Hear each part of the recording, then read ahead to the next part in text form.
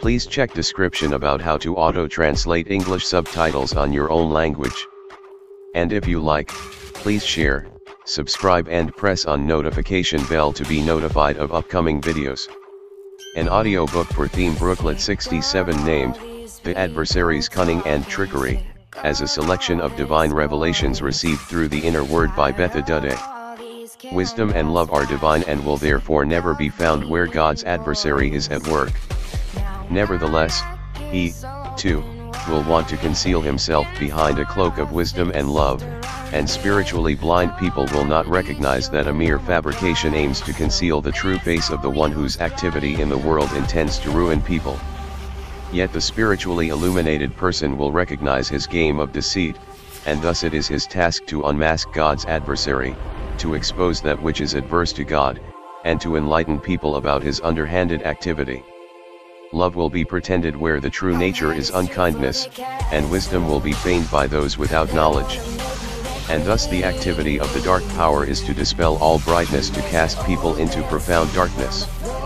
The loving activity should be selfless, it should be a sacrifice, but it should be performed of one's own accord without any external compulsion, for only then can it be judged to be an activity of love, otherwise they would be imposed beauties which are certainly acknowledged on earth but before God, only the activity of the human being's free will is of value for only love redeems.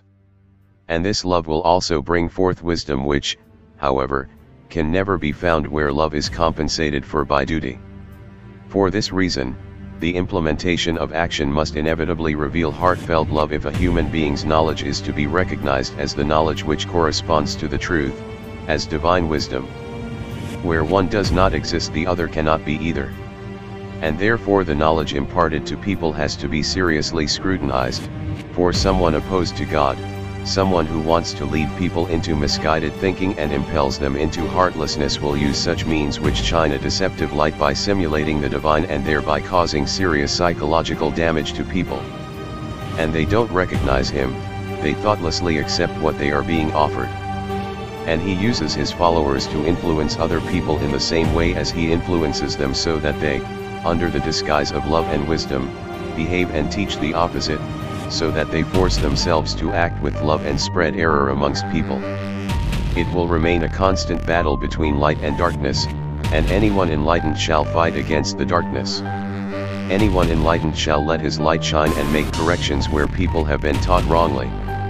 And neither should someone enlightened shy away from taking an open stand against the activity under the mask of light and piety, he should call for a genuine activity of love and explain to people the pointlessness of a forcibly implemented activity of love. He should convey the wisdom he received from God, which enlightened his spirit as a result of unselfish actions of love. For love and wisdom will always have to lead to God, but if people are not in contact with God they possess neither love nor wisdom, and if it appears like that before the world then it will only be the mask of the one who opposes God and tries to spread unkindness and untruth amongst humanity.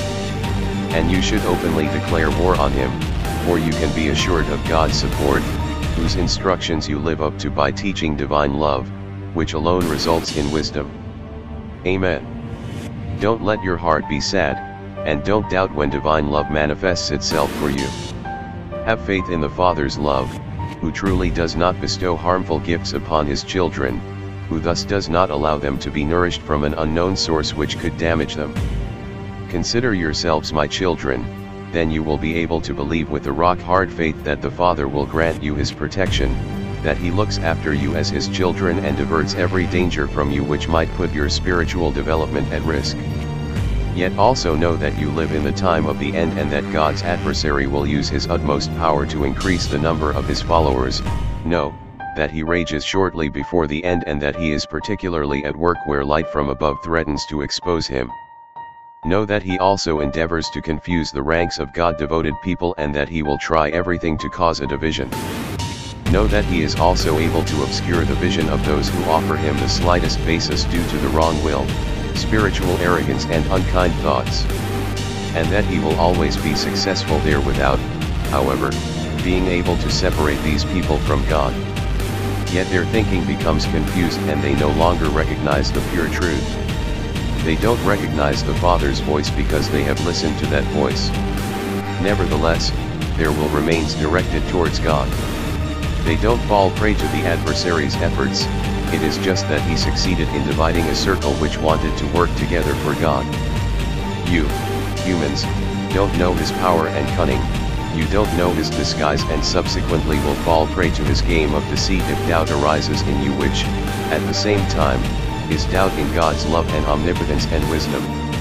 If you, therefore, render yourselves incapable of recognizing him in his manifested word, then his influence on you is obvious. Yet he will not succeed in separating you from the one whom you sincerely desire, for God holds his protective hand over everyone who strives towards him, but he does not force him to think or act according to his will.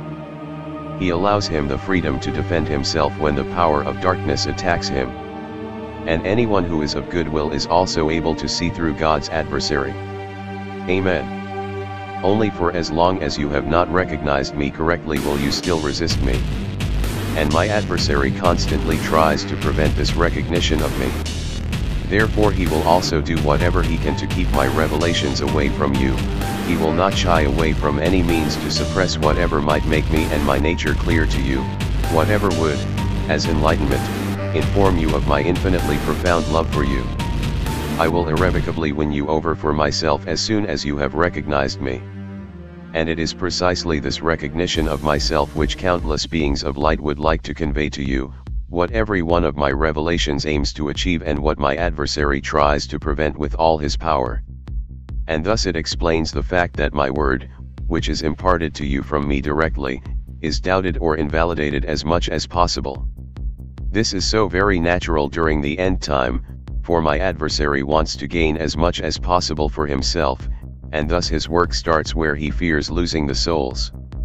The clear realization about me and my nature, about my love, omnipotence, and wisdom would make him lose his followers very quickly, but precisely this clear realization is lacking in people. This is why the battle between light and darkness is so fierce during the last days before the end. And it will be particularly felt by my servants on earth, to whom I can reveal myself, for that is where he works zealously and often with success. The confusion of thoughts is his plan, lies, and deception are his weapon, and what he cannot win openly he will try to gain through cunning. My own cannot understand that the light from above does not penetrate the darkness which people are living in. But the light cannot be transferred to people who don't desire it. And every desire gets stifled my adversary as soon as it arises without people defending themselves.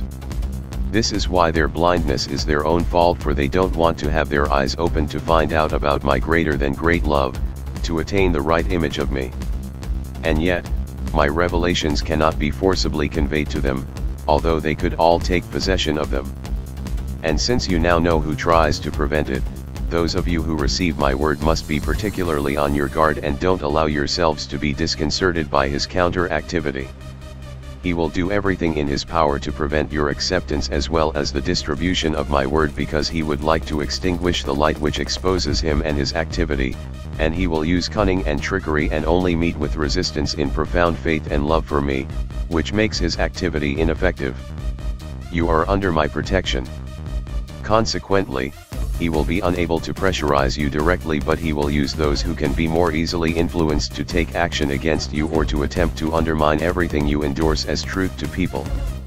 Always remember that you are approaching the end, remember that these are the last days for him and that he will use this time with every available power, that he rages because he knows that he does not have much time left. Therefore, unite with me ever more firmly and serve me with dedication and eager love, and you will always be able to triumph over him, with my revelations you will also be able to grant light to all those who resist him, you will kindle in them the love for me and guide them into correct realization. And they are lost to him, I will have won them over for me, and my love will never ever surrender them again or let them fall back into the abyss. They have become and will remain my own for all eternity. Amen. Only that which demonstrates love, wisdom, and might originates from me. You can always use this as a yardstick when you check whether spiritual knowledge is of divine origin or whether people are its source. If you recognize a lack of love or of wisdom or if my power is portrayed as being doubtful, you will be offered spiritual knowledge which did not come forth from me. But even this examination will be difficult for you if my spirit does not grant you assistance. And this assistance needs to be requested by you first, for your intellect alone is unable to make a correct judgment. However, anyone who seriously desires the truth will indeed receive it from me. And you can always be certain of the fact that I know your every thought and reveal myself to you in my love, wisdom, and might. For you are the vessels into which I can pour my spirit so that light will be brought to people which shall illuminate the darkness. You don't know how the adversary works in the end time, you don't know what he is capable of doing to extinguish the light from the heavens, to invalidate my activity, to falsify the pure truth which originated from me. However, I will never stop a human being's will if he changes the word I send to earth from above and in so doing is of service to my adversary. You don't know the cunning and trickery my adversary uses when it concerns undermining the truth. And even though I protect my vessels from his influence I can and will nevertheless not prevent it if a person's free will unjustifiably assume the right to implement changes. Otherwise, the pure truth would already be spread across the whole earth. The human being's free will must be respected, and this free will explains much. People are imperfect, and if they are offered something perfect, if the pure truth from me is conveyed to them, then it will not remain as pure as it originated from me for long, for the human intellect becomes active and this can still be influenced by my adversary, especially if a person strives for worldly advantages. I won't stop him, but I will see to it that the pure truth is conveyed time and again. I will grant a new light to those who desire to be enlightened. For they shall not be the victims of a wrongly inclined will, which is always demonstrated by the alteration of my pure word. The same Spirit has always poured into my vessels, and my adversary was unable to cause havoc in them, but time after time he finds people who submit to his will, and then the work of contamination will already have succeeded my pure living water has been mixed with human additions and has no more healing power. For that which originates from the adversary has a negative effect, it cannot be a blessing nor beneficial for the human being's salvation of the soul. And if I, therefore, convey the pure truth to earth time and again, if I always open a source again from which pure living water flows forth, then only because I know that it is necessary to correct emerging misguided teachings.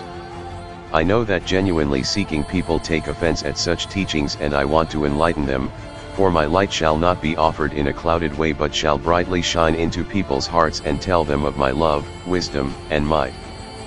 People shall learn to recognize and love me, and this is only possible through conveying the pure truth. I myself speak to people and you can truly believe my words. I grant you my word but I also expect that it will affect your heart, that you comply with it, and that you thereby attain an inner life. Only then will your spirit be enlightened, and then you will also ask me questions which I will gladly answer. For the confusion will grow increasingly larger, and my adversary will succeed ever more in weakening my activity. Yet people themselves are the crucial factor for that. Anyone who tries to find me and therefore genuinely tries to find the truth as well will find and recognize it as such but it can only be imparted to you through the working of my spirit because your human intellect is incapable of differentiating between truth and error. Yet truth exists and this comes forth from me. And anyone who appeals to me directly for it will also truly receive it for I know that only through the truth can you humans become blissfully happy, and I know that every misguided teaching is poison for your souls and therefore the pure and unadulterated truth will time and again be conveyed to you from above because it is my will that you shall attain bliss. Amen. The spiritual adversity is far greater still than the earthly one, for people no longer know the truth and every error is an obstacle towards ascent, every error is spiritual standstill or even regression, for error is my adversary's work to obstruct the path to me, to make it impossible to find. Every error reinforces his power and provides him with new opportunities to spread darkness across the human race. Everything is an error that contributes towards complicating the realization of me, everything is an error that prevents people from seeking and finding contact with me. It is my goal and intention that people shall unite with me, that they long for me and seek to satisfy this longing of the heart. My aim is to gain my living creation's love. Anything that contributes towards this is good and never my adversary's activity. However, anything that prevents people from finding this contact with me, anything that diverts their eyes from me is my adversary's doing. And thus you can easily recognize him in everything you are offered, be it spiritual doctrines, messages from the spiritual kingdom, or events of any kind. You must always try to realize what is intended by this. And if it leads you away from me and towards the world or if it impedes your heartfelt bond with me then you will also know that it is my adversary's work who tries to push you, humans, away from me. He also uses means which are intended to feign my activity, he does not shy away from seemingly working for me to convince the gullible, who do not recognize him and accept what he offers them. People's gullibility encourages his activity, for they accept anything without serious scrutiny at the slightest occasion which requires their faith. That is how cunning he is, to seemingly strengthen the faith and yet to divert it into the wrong direction. The truth is constantly sent to earth, it is constantly conveyed to people and yet, the worst errors and lies are far more likely to be accepted than just a glimmer of truth, which would enlighten their spiritual state. My adversary, however, stands on solid ground, he stands on ground which people themselves have made firm and tenable. My adversary works where people believe they are entering my territory. This, too, is his cunning, which can only be exposed again through the pure truth which I send to people through my word. Yet this, my word, can only enter with great difficulty where my adversary has carefully closed all doors. And people themselves support my adversary and uphold his power. This is why the spiritual adversity is so indescribably great and yet cannot be forcibly eliminated, because the human being has to strive of his own free will to enter the light, then he will soon be illuminated and the ground beneath my adversary's feet will begin to falter. Nevertheless, without the truth, spiritual hardship cannot be reduced, for the truth teaches love, but anyone in possession of love will also recognize the adversary's activity and release himself from him, given that his love also gives him the strength to escape from him, since due to his love he establishes unity with me and thus I support him by imbuing him with light and strength. Amen. I can reveal myself to you through the voice of the Spirit if you genuinely desire to be taught by me. I only want you to live in truth, that your thinking will not take the wrong direction, that you will not be so influenced by misguided teachings from the one who wants to undermine the truth, because it enlightens you by highlighting him and his activity.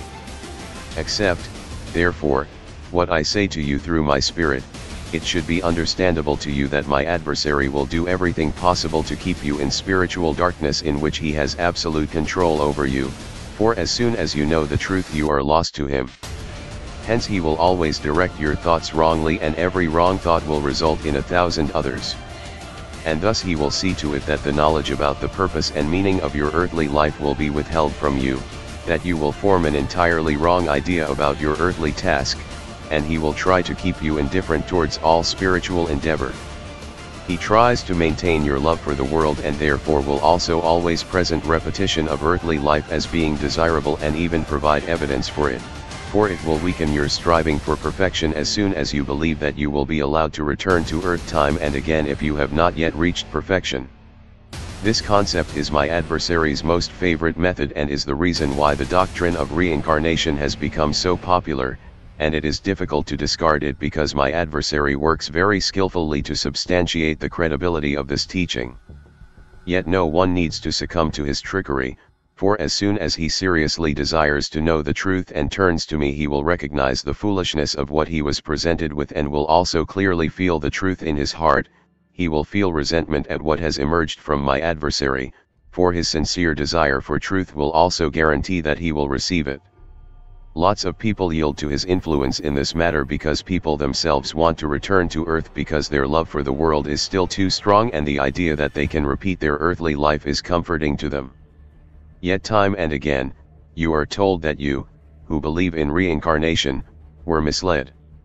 Although there are isolated cases, which have their special reasons but must not be generalized for my eternal plan of salvation truly incorporates all possibilities which guarantee your full maturity throughout one earthly life for you can overcome every weakness yourselves since I died for you on the cross to gain the strength of will on your behalf and you can at all times call upon me in Jesus, the Redeemer from sin and death and then you will also be able to reach the degree on earth which will assure your entry into the kingdom of light where you can ascend to never-ending heights since there will be no more limitation for you. If you, however, don't use your earthly life and enter the kingdom of the beyond unredeemed, then a repeated embodiment on earth would be of no use to you either, for you will keep your free will but your past memory will be taken away from you, and then you will be in far greater danger of descending further, which will never be encouraged but prevented by me.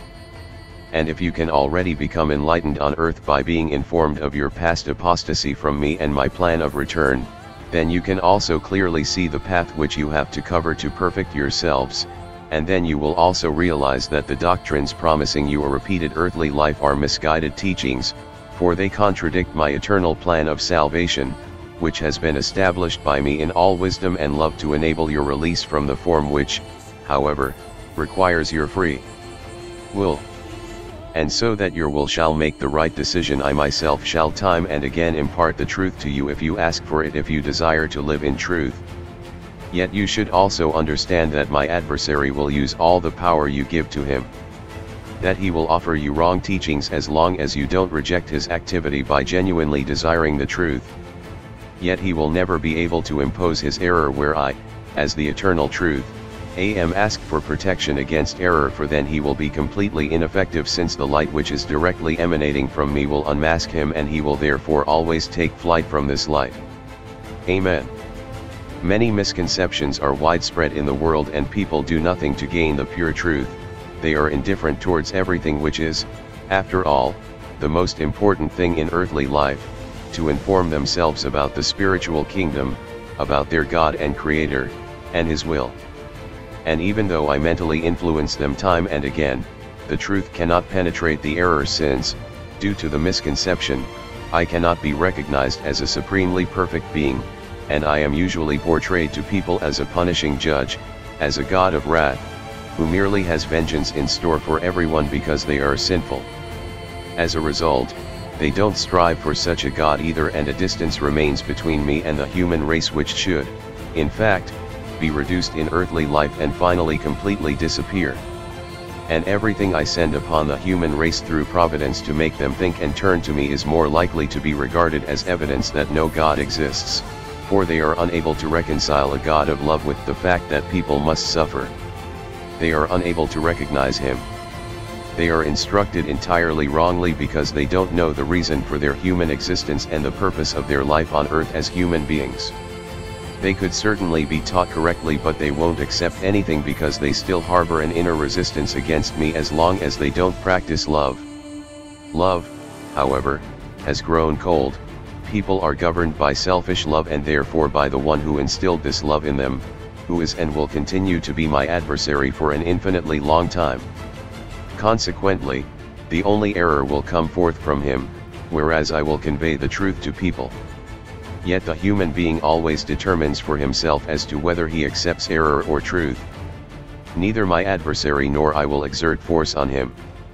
But because of the human being's immature nature, my adversary will be far more successful, particularly during the last days before the end, when error will dominate and the truth will only be accepted by a few people for many schools of thoughts and ecclesiastical organizations openly endorse the error as truth, whilst the followers of the truth will only be those people whose will is seriously inclined towards their God and Creator and who, as a result of this will, enter into contact with me and receive the truth from me myself. As long as people still doubt my greater than great love, wisdom, and might, they will not know the truth as yet. Thus, misguided teachings originate from my adversary and he will always portray my nature in a distorted way to prevent people from loving me. He will describe me to people as a being which must be feared, and they will never strive for and hand themselves over to such a being. But all I want is my living creation's love, therefore I must convey the pure truth to them, in which they can also recognize me as a supremely perfect being whom they will then love in return. Error leads people into completely wrong thinking. For it is a most blatant error if they are told that I demand practices and rituals from them, that they can thereby acquire beatitude, because people are never assessed by me according to their fulfillment of earthly decreed commandments, instead, only love is of value before my eyes.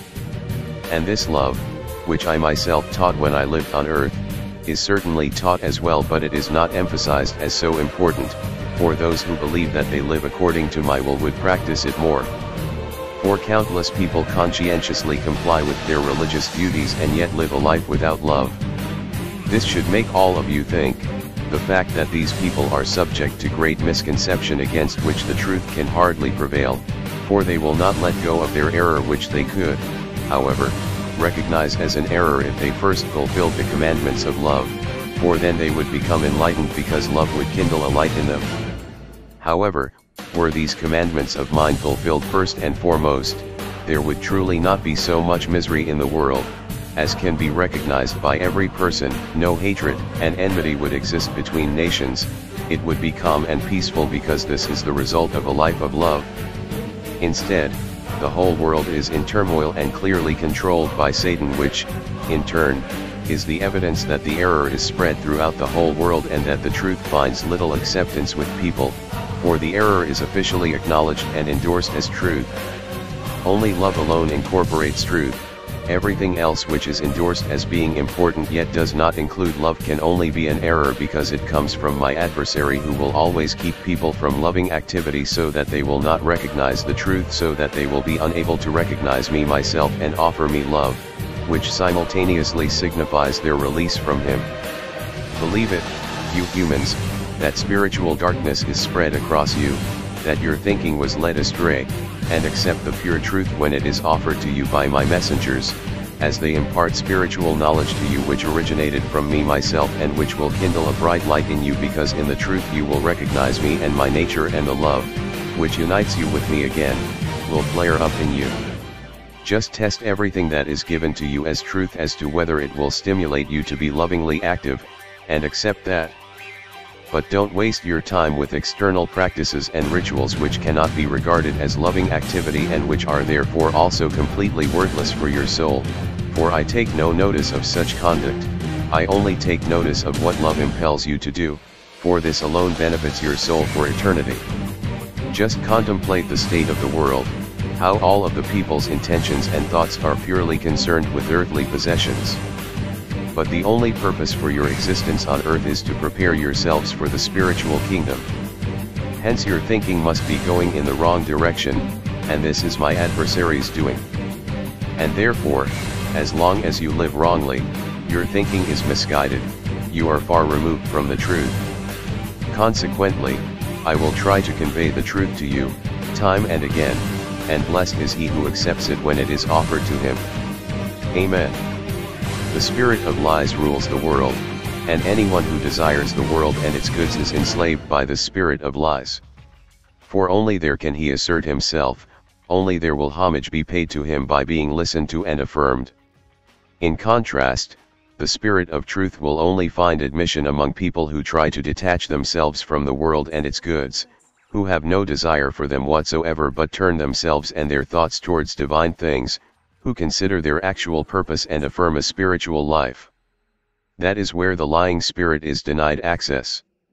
For God, Himself will grant His protection to these people, and He wrests them from the one who brings lies into the world.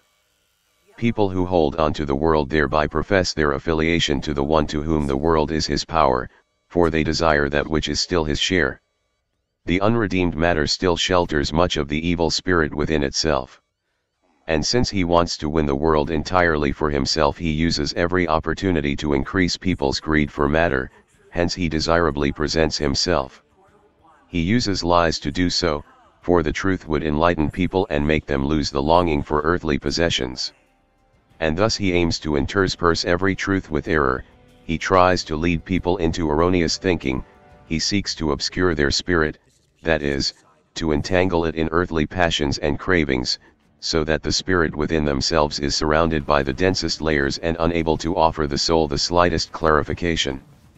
And he aims to pull down everything divine, stifle everything noble, obscure the truth, eradicate love, spread hatred and strife, and gradually shape people such that they become like him, that they will adopt all those qualities which characterize evil.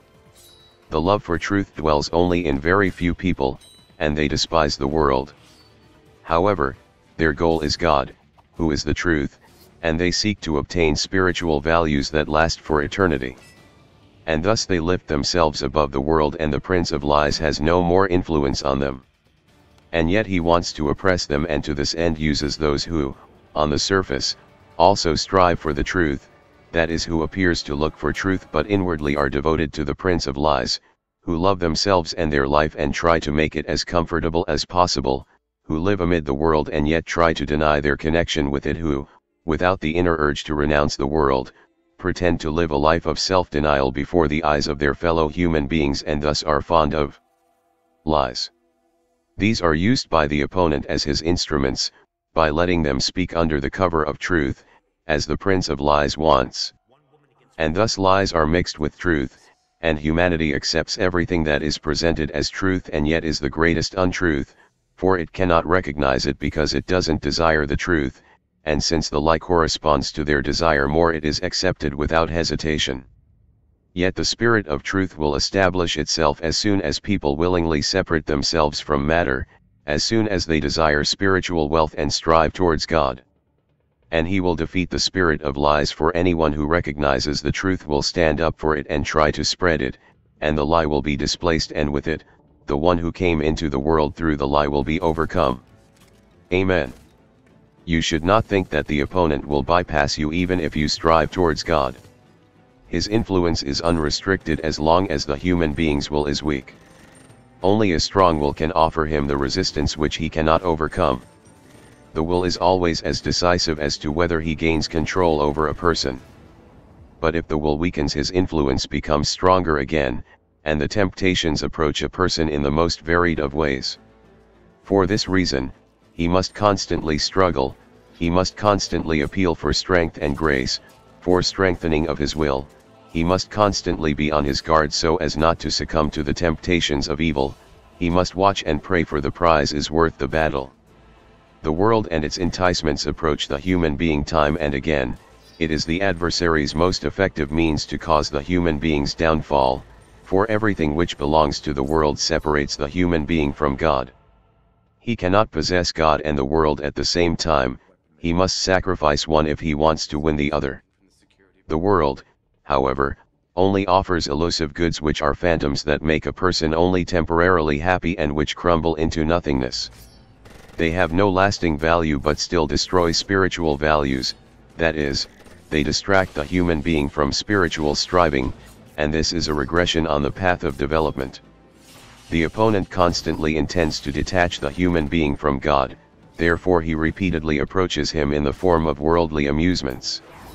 He entices him with worldly pleasures, he tries to turn his mind to them and thereby desert God and if a person does not oppose him with a firm will he will succumb, and the opponent will have won his game. The human being's body enjoys the experiences but the soul gets into difficulties, for to the same extent as the person enjoys earthly pleasures the soul has to go short. If the soul can become stronger than the body then it will succeed in making the person feel discontented, these are the inner admonitions and warnings which are imparted to the person through the inner voice if only he pays attention to them then he will make every effort to overcome his inclination for the world and with increased determination strive spiritually again. And this determination will also give him the strength and the grace of being able to achieve it. But the voice of the world is frequently stronger than the inner voice, in that case, the latter will fade away unheard, he will throw himself increasingly deeper into the whirlpool of worldly pleasures, he wants to enjoy himself and gets caught in the opponent's nets of lies, who will tie the human to himself ever more firmly by offering him the pleasures of the world and making him totally unreceptive to spiritual possessions. He has bound his will and the person will find it very difficult to release himself from him, for the human must turn away from him of his own accord and desire God before the strength and grace can take effect in him. And therefore beware of the temptations by the world. Consider that God's adversary will approach you, time and again, and that only your will can banish him. And for this will to become strong enough, you must watch and pray. Pay attention to the danger which constantly lies in wait for you in the shape of worldly temptation, and constantly request the strength from God to withstand them, for every fall is a spiritual regression, and every overcoming will bring you closer to the goal. What God offers you is incomparably more valuable and can never ever be compensated by worldly goods, worldly pleasures, or amusements. Be vigilant and know that you are constantly put under pressure by God's adversary, who intends to make you fall. Therefore appeal to God for strength and strengthening of your will so that you can resist every temptation. Amen. The demon from the underworld tries to slip in everywhere to spread hatred and instigate confusion, and he uses every available opportunity offered to him. He stirs up trouble between people, he sows discord and strife, he uses lies, and thus deprives people of the peace they need to find God. For he, who is God's adversary, wants to prevent this. And his influence may be powerful if people are not on their guard and instantly turn to God once they notice his approach. One thought upwards is already enough to offer him resistance, because his power will be broken where God's power is made use of. He detests it when a soul is at peace and tries to interfere with it because then all other attacks are easier and successful for him. You, humans, have no idea how hostile he is towards you, how he hates everything that strives towards God, and that he will never tire to make you fall. He is incapable of achieving anything as long as you live in love, this is why he tries to stifle the love in you first, he tries to inwardly agitate you and to spread poison, to awaken degrading thoughts about your fellow human beings and keep stirring where his thought has been kindled in you. He is dangerous in his heartlessness, his hatred causes immense harm, and you must always be on your guard and nip the first unkind feelings in the bud by calling upon Jesus Christ to release you from his control.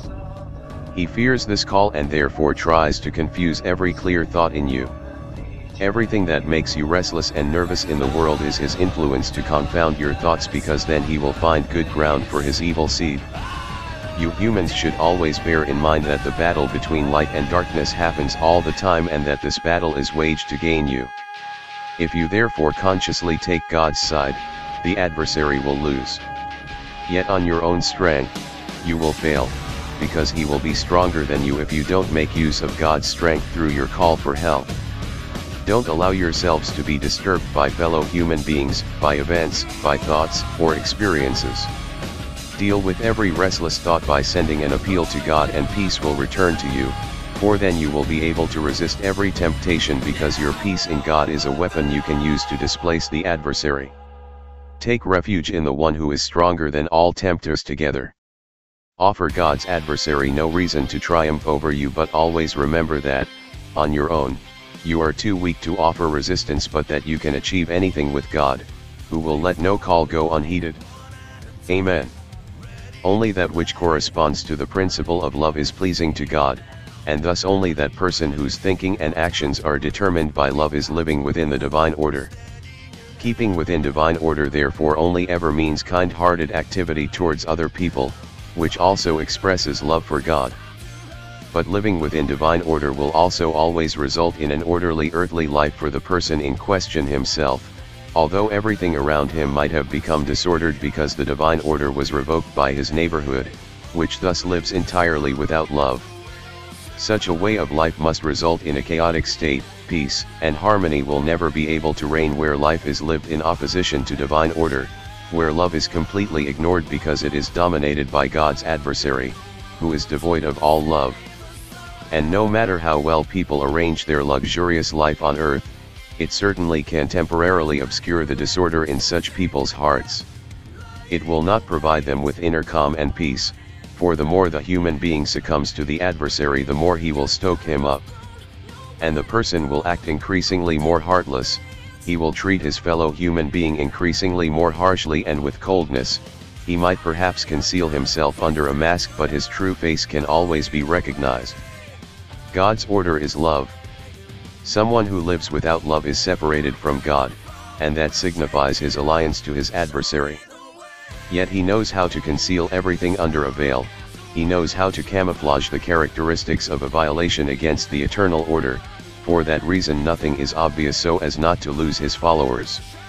Instead, he will give everything to those who devoted themselves to him because of their attitude, their unkindness, and coldness of heart. They receive whatever they want but will only ever be able to obtain earthly goods which, however, entirely satisfies them. This explains why the adversary has so many followers, for by and large people try to find earthly fulfillment and get it through unkind thinking and conduct.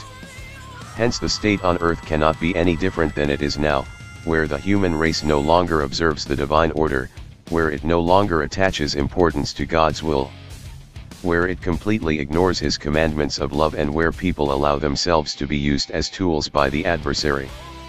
The chaos on earth is steadily increasing and only a few people live according to divine order, only a few people allow the principle of love to reign and unite with God, the eternal love. And they need not be worried if things happen according to the law, which is only ever the result of an unlawful way of life. Their unification with God through the loving activity will provide them with protection and strength when the time comes for divine order to be re-established again. Then what it means to be close to God will be demonstrated, for satanic force and satanic activity will remain ineffective in the person who has always lived according to divine order, who cultivates love and always remains in contact with the eternal love. He will certainly see everything disappear around himself, but he himself is full of strength and light and fortitude. He knows that he is united with God and waits for his Creator and Father of eternity, for living his life in divine order made him knowledgeable and therefore he doesn't fear anything that originates from the adversary's realm. He himself lives in the sphere of divine peace, because his love within excludes everything contrary to divine order and because he is now protected against all dark forces which still oppose God and the eternal order. Amen. Everything transient in the world belongs to my adversary, that is, all matter shelters imperfect spirits which my adversary once turned against me and which therefore still oppose me. Material creation came into being through my will and he has no authority over it. And yet, this world belongs to him, for he can boast that the spiritual substances bound in the matter are the product of his will.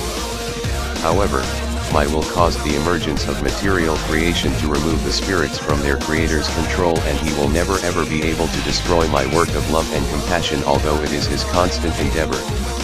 He certainly would like to liberate the spirits from the bound state I placed them in to attain beatitude, for as free beings the imperfect spirits would never strive towards ascent but, under the control of my adversary, would continue to descend ever further into the abyss.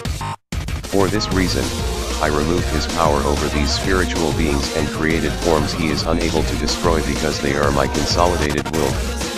Thus, my adversary has no control over the spiritual substances which are still bound in matter. However, he tries to use it all the more on the final material form which shelters the spiritual being, on the human being in the stage of free will. He cannot force the human being to become enslaved by him yet he can seduce him in every way and try to cause him to maliciously destroy material creations as well. Thus, he uses the human being to accomplish his will, after all, the destruction of matter. It is, however, up to the human being to comply with his will or to offer him resistance and to win a person over for his disgraceful plans my adversary enticingly presents that to him which he himself would like to be destroyed. He tries to arouse or to increase the human being's greed for matter and thereby also trigger instincts in him which do not shy away from destroying matter to enrich himself or to amass possessions, thereby taking their actual purpose of releasing themselves through being of service away from them, because the human being himself prevents the inherent spiritual substance from being helpful. Consequently, what the enemy is unable to destroy he wants to prevent from developing further. He tries to give permanence to that which is impermanent if his destructive will cannot reach it. And the human being obeys him only too gladly as long as the matter is enticing to him and he constantly aims to increase it. If my adversary succeeds in tempting people into becoming destructively active, then the prematurely released spirits will wreak so much havoc that it will revoke the order, so that chaos will ensue which will also affect those people who want to withdraw from my adversary's influence. For the devious spiritual beings will cause destruction everywhere, which will always happen through my adversary's initiative who will once again exert his influence over the released spirits. This is why they will be bound again by my will. Due to the individual person's impulse of preservation, people, whose material possessions were destroyed, will constantly create works for helpful purposes again in which the spirits which escaped from matter will be bound once more for their continued maturing. And these works will then be even more eagerly of service because the inherent spiritual substance will sense the relief of having been integrated into the process of development again, which it involuntarily had to abandon. It will sense the benefit of order which forms the basis for all my creations, in contrast to my adversary's unlawful activity, which it is indeed subject to in a free state but which does not make it happy. The human being can, by virtue of his free will and my grace, which is at his disposal, resist my adversary and contribute considerably towards preventing him from destroying matter if he helps it to fulfill a serving function and only destroys it if the matter is given a higher function of service. Then the human being will keep removing himself ever further from my adversary's influence, then he will completely submit himself to my will by releasing himself and also help the spiritual substance in the matter to progress in its development by not granting my adversary any power at all over himself and also trying to release matter from him, by making sure that the human beings will always resist my adversary. Amen. It should suffice you to know that everything in my creation proceeds according to my will. Thus my adversary will not be able to affect creation in some form or other, because he is only able to affect the spiritual being in possession of the free will, the human being. But then he once again aims to influence the latter so that the human being himself will try to change works of creation in my adversary's favor. Thus, whatever the human being can accomplish may always be according to my will, but it may also correspond to my adversary's will because the human being is influenced by both sides. However, anything that lies outside the human being's sphere of authority can never be implemented by my adversary, it has to be entirely ascribed to my activity, because my adversary has lost all power over creation, over the spiritual substance which is still bound. But precisely because of this, my adversary will exert all his influence to make people compliant into becoming destructively active, because this will release the bound spirits, which he believes he may take possession of again. This, too, will be impossible for him. Nevertheless, the released spiritual substance has an unfavorable effect on everything surrounding it because it has left the order and therefore also creates disorder in its environment. Thus it can disrupt an existing natural law. So, indirectly it is indeed my adversary's work, yet always through the human will whilst my will alone is sufficient to re-establish the order and to work creatively and constructively in the whole of the universe. This, my adversary's impotence, will cause him to devise plans of a truly satanic nature by motivating people to destroy the globe. Yet with a view of different goals which impels them into intense activity. Incapable of accomplishing destruction himself he will cleverly disguise it as a worthwhile utilization of unfamiliar energies and he will find enough people on this earth to comply with his will and who therefore also receive strength from him for all kinds of discoveries and results. Although the subsequent natural disasters will only affect the creations which arose through my will, they nevertheless cannot be classed as a direct expression of Satan, but they will always be disruptions of order which were caused by human will even though they will be of immense significance in the spirit's phase of development. Both those who have free will and those who are still in a bound state for their course of development will be interrupted. And thus will require my counteraction so that the disrupted order will be restored again so that the interrupted development can continue to proceed. My adversary's plan will certainly fail, for he will not regain the released spirits, yet he will have won the people who will have become enslaved by him. The souls which were already further advanced, but he will lose every entitlement over them through the forthcoming renewed banishment. My adversary's influence on the human being's free will is immense, yet he has no control over any created being apart from the human being. He cannot implement anything once a person's will refuses to surrender to him. And everything inaccessible to a human being, which human will cannot influence, is always my reign and activity in the universe and never my adversary's expression of power, who is stripped of all authority, but he will do whatever it takes to make the human will compliant to implement his plan through him and cause your downfall. Amen. People allow themselves to become beguiled by the adversary's mask and do not recognize his game of deceit. For this reason, he is gaining ground everywhere since God does not set him a limit as long as the human being himself grants him power over his will. But he is using this power in every respect through increasingly bigger works of deception to mislead people.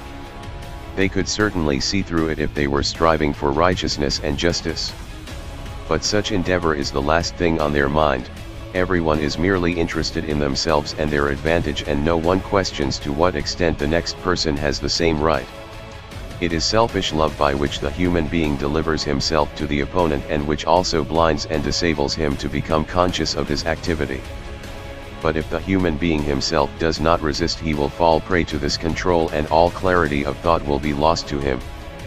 Because the goal of God's opponent is to confuse people's thoughts so that they will increasingly fall away from God and become unable to withdraw from his lure by themselves, that he will rage and unreservedly pull them into ruin without meeting any resistance because only the human will is decisive and this is too weak. Because the adversary represents the world and, therefore, is a friend of those who are attached to the world. But he is approaching under the cover of piety, and thus people allow themselves to be beguiled by him. He feigns goodness to them but his actions are evil, since he propels people into heartlessness, into self-interest, into the pursuit of earthly wealth, into increased physical comfort, and all this is a decline of the soul's development, it is a disregard for the real purpose of earthly life, the maturing of the soul. And people do not recognize it because they are enslaved by the power which aims to separate them from God. Yet even this enemy of souls takes the name of God in his mouth, he wears this cloak to remain unknown, and his cunning is successful and puts untold people under his spell but woe unto them when his cunning is revealed, when the mask drops and his true face appears. Then they can only save themselves from his power with great difficulty, for they had left him, who is Lord of all creation, who can redeem the human being whose will is willing to be redeemed. But the enemy's cunning consists of first removing a person's belief in the help of the divine Redeemer as well as in his divinity itself and those who are spiritually blind will follow his banner and voluntarily separate themselves from their soul's savior. Humanity, however, does not recognize the dark power's activity, it sees light where there is utmost darkness because making believes that there is light even though it is the darkest night is also an act of Satan's deception. And they flee the true light and do not accept the cautions and warnings which are given to them by the appointed messengers. They worship an idol whose power in fact merely consists of weakening the human will but who is powerless when this will turns towards God. And you will recognize this idol by the fact that he will not do anything to increase your faith in a loving, wise, and all-powerful God. That the name of God will indeed come forth from his mouth, but he will not give him authority by deliberately calling on him, that he will ignore love and for this reason is far removed from God, the eternal love, that he will not acknowledge Jesus Christ, the divine Redeemer. And thus he is an obvious opponent of him, who will put humanity, which needs redemption, into bondage once again if it follows him and puts itself under his banner. Amen. Under the guise of piety, many sins are committed on earth. This is Satan's activity, who hides under a hypocritical garment to be able to treacherously influence those people even more who allow themselves to be taken in by external pomp and splendor. People lack their own light and therefore accept the light from those who have no light themselves and merely avail themselves of elusive light. And in this elusive light, they will hardly find the path they should take and easily go astray by believing to be on the right path. It is far easier to recognize an enemy who openly confronts people. The adversary, however, conceals himself and gives the appearance of belonging to my own, of speaking on my behalf and to have received authority from me, so that it is easy for him to find followers, gullible people who lack the right kind of love. For with the right kind of love they would be so enlightened that the elusive light would be unable to prevail. But people pay more attention to appearances, to imitations, than to the truth which originates from me, precisely because they lack love. And my adversary certainly knows how to prevent love by trying to replace it with something else, by passing laws and portraying the fulfillment of these laws as more important than anything else. But he knows how to displace my commandments of love so cleverly that people barely become aware of their heartless way of life because they eagerly submit themselves to the humanly decreed commandments believing to have done enough. A person could certainly realize this himself, was it his serious will to live a life that pleases me. Yet his vision has been clouded by the splendor surrounding those who present themselves as my representatives on earth, and who are actually the representatives of the one who opposes me and who campaigns against me. Anyone who has kindled the light of love within himself can see everything brightly and clearly and disgustedly turns away from conduct which can never be my will. However, anyone who still lives in darkness because he lacks inner light will delight in elusive lights and time and again rush to them but without thereby receiving true light. Only kindness of heart, unselfish neighborly love, kindles a true light and anyone who walks in this light is taking the right path for I myself will walk beside him on this path. Then the elusive light will no longer cause him harm for he will avoid it he will stay away because then he will be warned by his heart of the one who conceals himself under the guise of piety. He will be unmasked when the time is right.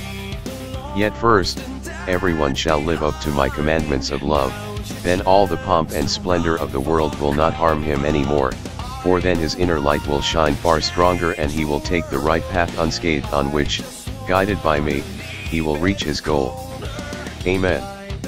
God's adversary also disguises himself where he intends to make people fall and to persuade them to turn away from God. He likewise appears as a figure of light and dazzles people, so that they will no longer be able to recognize what is right and cannot see through his deceitful game. He is always to be found amid gullible people, that is those who thoughtlessly accept what is offered to them as truth, and who therefore don't spend any thought on it when dark forces express themselves through the deceptive light of piety. Yet even this game of deceit can clearly be seen by someone who seriously looks for and desires the truth. Only a few, however, so value the truth that they scrutinize everything and only accept what seems credible to them. And thus these dark forces will eagerly endeavor during the last days to confuse people's thinking by joining forces and working in unison to achieve phenomena that intend to simulate angels of light and yet are forces of darkness. They try to influence gullible people by imparting error to them and leading them on wrong paths and are also generally successful with them because they don't try to obtain clarity regarding important issues because they allow themselves to be instructed by uneducated teachers and thus accepted misguided teachings which led away from God, who is the eternal truth himself. People by and large lack the power of judgment, they are unable to distinguish error from truth, and thus they accept everything unconditionally without spending thought on it to discover and recognize the error with goodwill for truth. These figures of light can nevertheless be exposed by profoundly faithful people with an awakened spirit, which enables a person to see and hear clearly. The knowledge of the truth, which was imparted to him through the voice of the Spirit, enables him to recognize every error as such, and thus he will reject both the error as well as the giver of it, whom he unmistakably recognizes as a dark power, although he conceals himself under the mask of a bearer of light, for the Spirit of God teaches differently, and anything that does not concur with this spiritual knowledge can safely be dismissed and branded as a lie. Besides, these apparent figures of light will not be able to prove themselves before those who are filled by the Spirit of God, for they will very quickly be seen through since they speak without love. Instead, their intention is to turn people towards the world, if they are already on the spiritual path, and to prevent the others from recognizing the right path, which necessitates a life of love. Therefore pay attention to how such figures of light express themselves, pay attention whether they point to God himself, whether they further direct communication with God or whether they exclude God whether they want to see earthly actions to be achieved which do not contribute towards obtaining maturity of the soul. Pay attention to this and you will recognize and reject all spiritual beings which do not come from the kingdom of light, for anyone with the will for truth also infallibly recognizes everything which opposes the truth, and he will acquire a bright and sharp vision so that he can offer resistance and also lead his fellow human beings into the pure truth if they are willing. Nevertheless, God's adversary will have great power over gullible people, and those people who know the truth and recognize the dark forces will have to spend much effort to convince the former of the error. And this explains why phenomena, which do not originate from God, will be on the increase during the last days but which many people regard as divine revelations, where the adversary tries to win people over as an angel of light and thereby places them into profound darkness. For his followers don't want to let go of the error, they resist if it is explained to them, and although it does not directly damage their souls, they are nevertheless unapproachable for the pure truth. And this is so extremely important because truth alone leads to God and because every manifestation from the spiritual realm will be interpreted exactly as it is intended by God's adversary, for his thoughts are based on people's attitude, and he will always spread the error under the cover of piety and yet never draw attention to the end so that people are prevented from preparing themselves for the end according to God's will. And thus diligent effort should be made to fight against it since it is, after all, important to rescue the many people, who still live in darkness, from Satan's claws. Amen. During the last days, Satan will fight by any means so that souls will commit themselves to him and go astray. And his trick is to involve them in error, to let them believe that they are on the right path, and yet to entangle their path such that they do not notice that they will lead into the abyss because they do not really desire to take the path of ascent people are satisfied with being told that the path is ascending. But they do not pay attention to it themselves or they would certainly notice that it is descending. And he uses many means for deception, all divert from the truth, all are but a tangle of fraud yet so well camouflaged that a person has to be attentive as not to be taken in by him. And he deems the mother of Jesus to be the best means, which he first puts into the forefront of people so that they, due to their veneration and glorification, forget their real purpose of earthly life, to attain the bond with Jesus Christ himself, which is the only guarantee for the person's salvation of the soul. Thus people carry out an apparently righteous act of love for the mother of Jesus, but Satan's intended result is less love for the divine Redeemer himself, who more or less takes second place. But a lifetime on earth is too short to take detours to reach the goal, and people who do not take refuge with Jesus every hour of the day take long diversions. The contact with him is so extremely important that it cannot be established often enough, and for this reason alone every glorification of the Mother of God means a deviation from the actual objective of life to establish this very contact, on which a person's salvation of the soul depends. And thus it is this bond which God's adversary tries to prevent by all means, and he succeeds best by turning people's thoughts towards Mary. He can do so through unusual apparitions initiated by himself, but he makes himself visible in the guise of an angel of light to people who are particularly suited to perceive psychic phenomena. Through these apparitions, he predicts forthcoming events to people, which he indeed knows will happen, and thus he creates an impression of credibility even though it is a strategy of disguise to cause even greater confusion. He will always wrap himself in the cloak of mystery, always making claims about concealed things, always prohibiting public disclosure, because then his fraudulence could be revealed.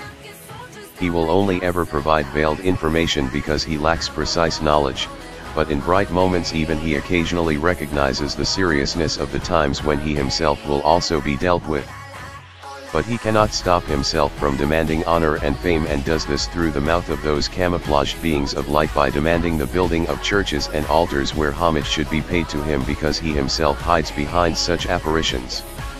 And the most obvious indication of an anti-spirit rests in the fact that people are demanded to pay homage before the world to those in whose garment darkness keeps itself imperceptible.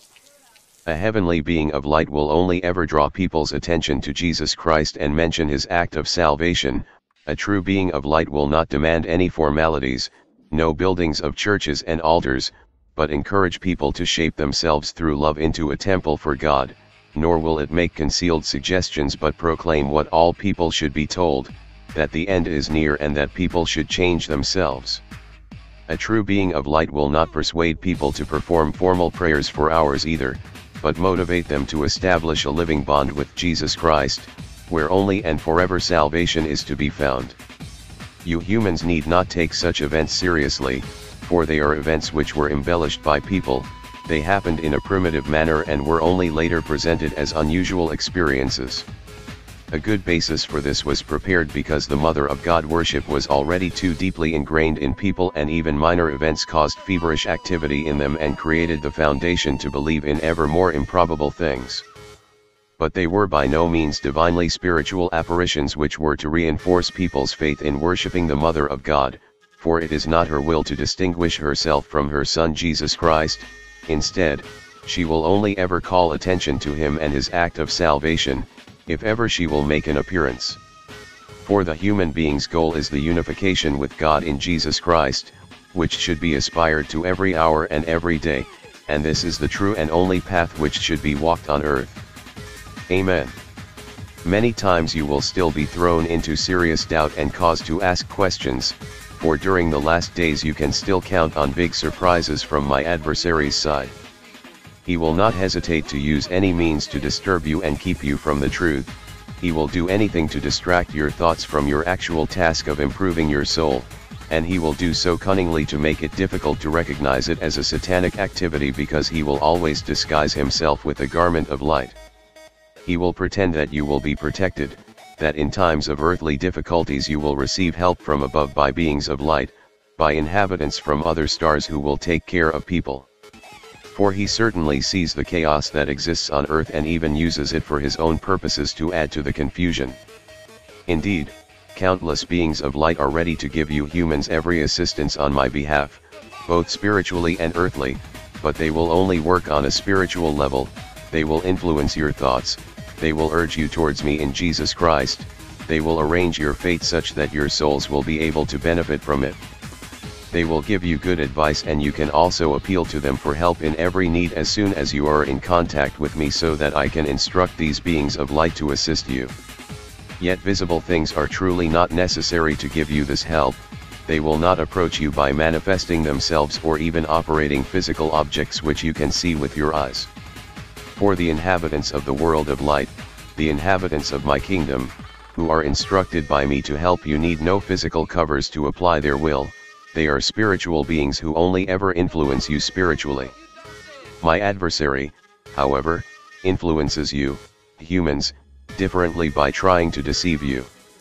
He wants people to believe that supernatural beings take care of earthly inhabitants and instructs his followers to flash deceptive lights, for it is in his interest to stop people from giving themselves to their God and Creator so that they will turn and entrust themselves to those beings and thereby become subject to his rule he has great power at the end which he truly uses well for himself. I can only ever warn you, humans, not to be so gullible.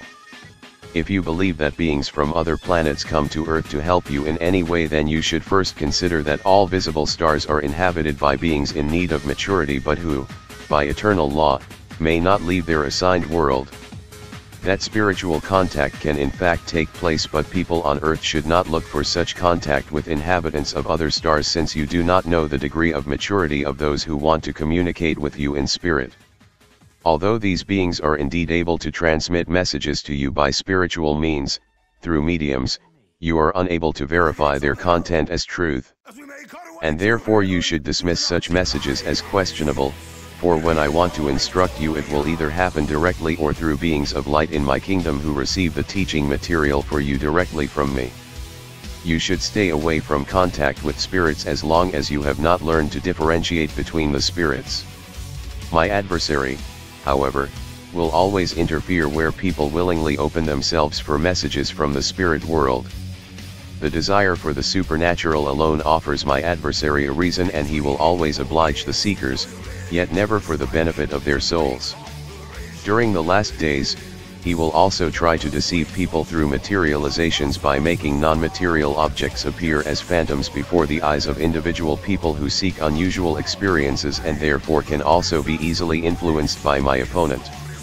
Besides, people to launch experimental objects into the universe which are sighted again as material objects, so that people are no longer able to distinguish between illusion and reality yet both are of satanic origin, whether it originates from people or from the spiritual world which, however, is always the realm of darkness, just as people are prompted by the Prince of Darkness to conduct these experiments. The end is approaching, and that is the reason for Satan's extraordinary activity. But I myself also work extraordinary things by conveying the pure truth to people, and I would truly also let you know should these inhabitants of other celestial bodies become active on my behalf. I truly would not keep you guessing about it. But time and again I say to you do not let such deceptive lights bother you for he who causes them does not want to save you but ruin you. You will still experience much more before the end which will enable you to clearly observe his activity, providing you pay attention and stay in contact with me so that I will always be able to illuminate your thoughts and in the light of truth you will recognize him and his doings. Amen. One thing is certain, I will protect my own in the hollow of my hand when the end has come. I truly have enough angels to whom I can entrust my own, whom I instruct to build a protective wall around them. And thus you can all know that you are protected in my care, come what may. Therefore I want to caution you not to abandon yourselves to and expect help from, beings whom you suspect to be outside of my spiritual kingdom. Who thus have not yet reached the perfection of beings of light capable of implementing my instructions. I want to warn you about looking for contact with inhabitants from other worlds, which you can only establish spiritually but who cannot offer you the guarantee of imparting truth to you. Time and again, it has to be said that only perfect beings may and can carry out tasks that guarantee you protection and assistance. Beings who have not yet achieved this perfection will always still reside, for the purpose of their development, on such works of creation to which they are bound by natural law.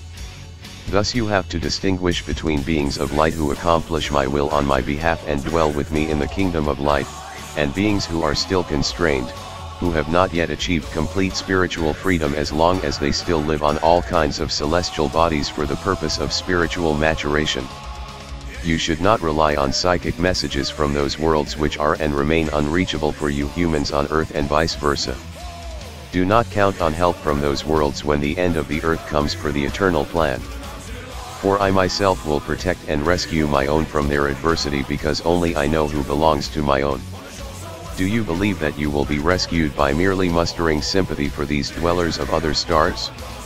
What misconception do you suffer from?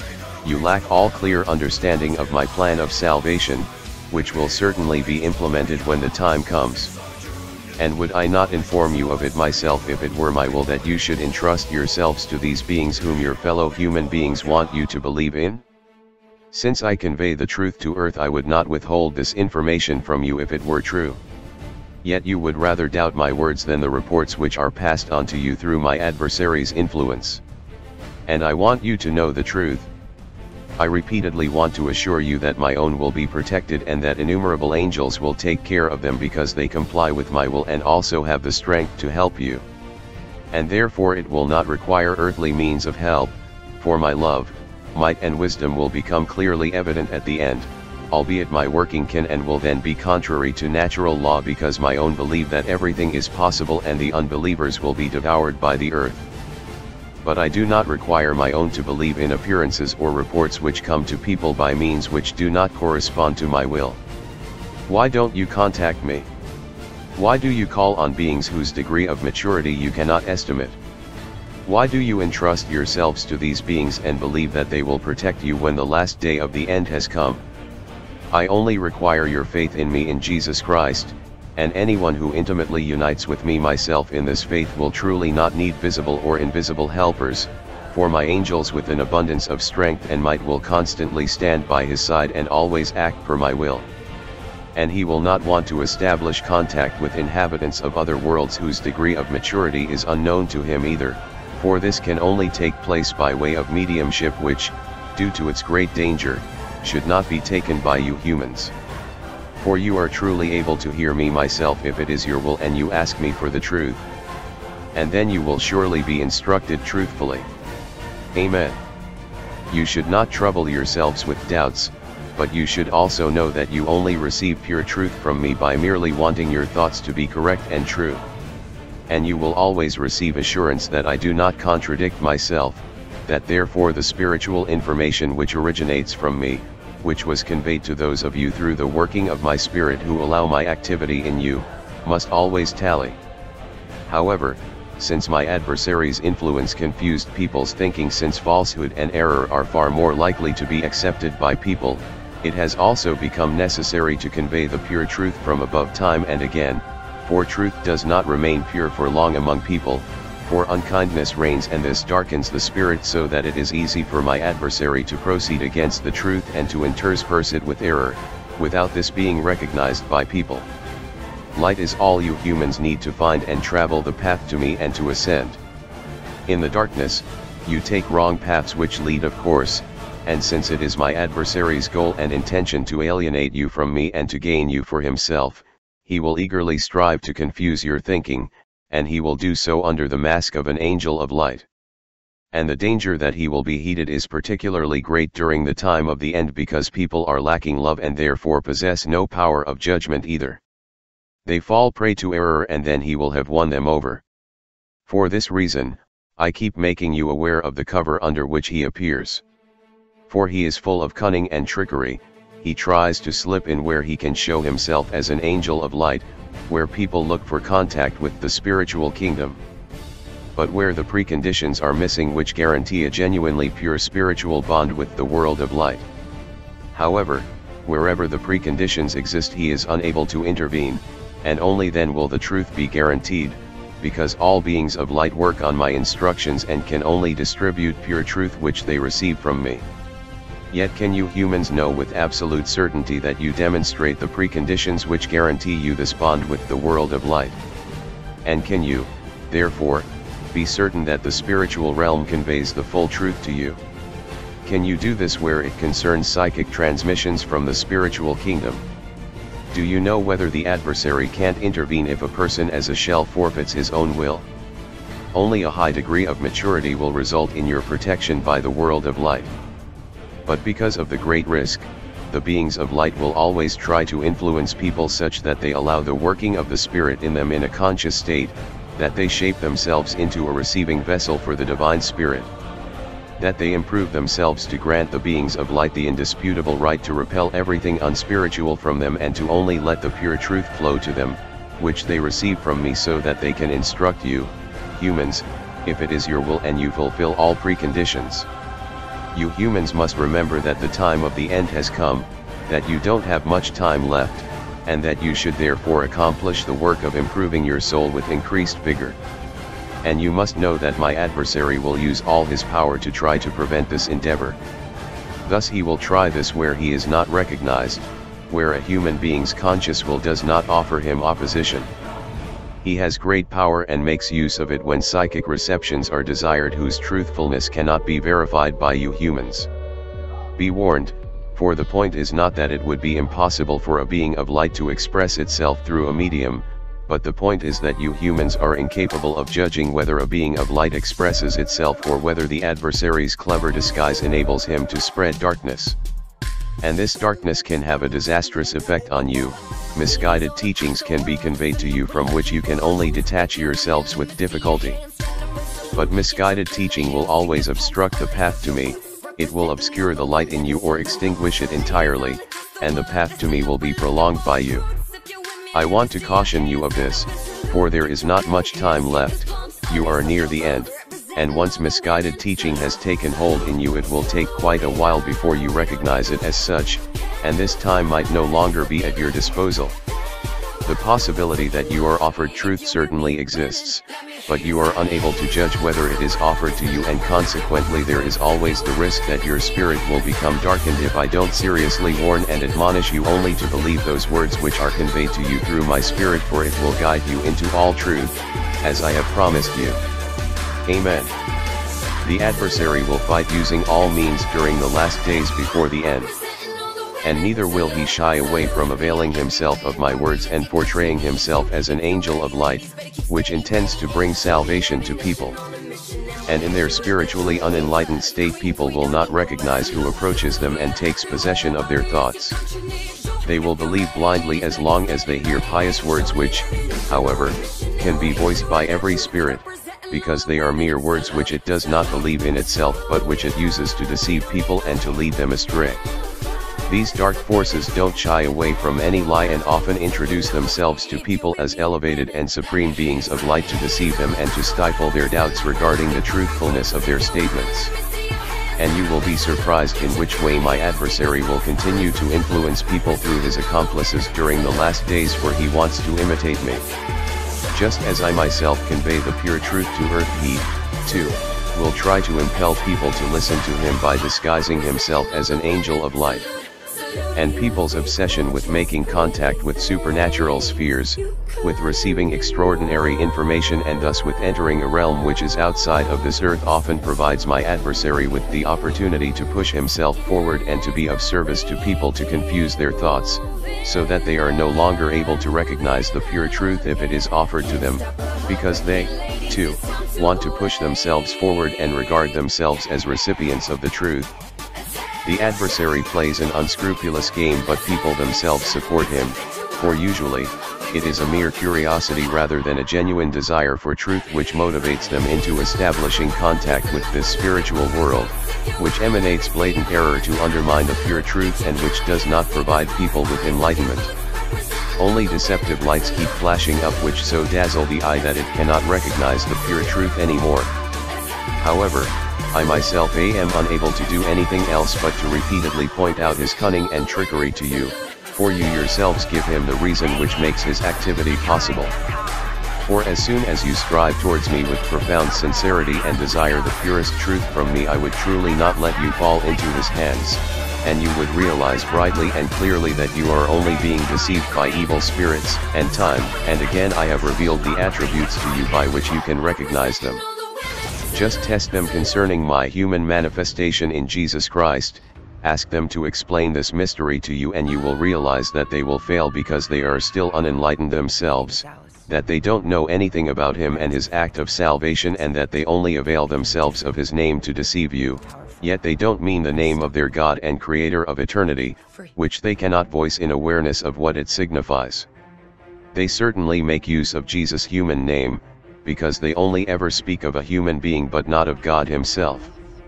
And you will truly not meet many people who, as bearers of light, will be able to enlighten you about this, because they received this clarification from me myself. But then you will also be able to make a judgment and accept the light from them without having to fear that you will be wrongly instructed. And you can believe that a person will not know the truth as long as this problem of my human manifestation in Jesus is still unresolved.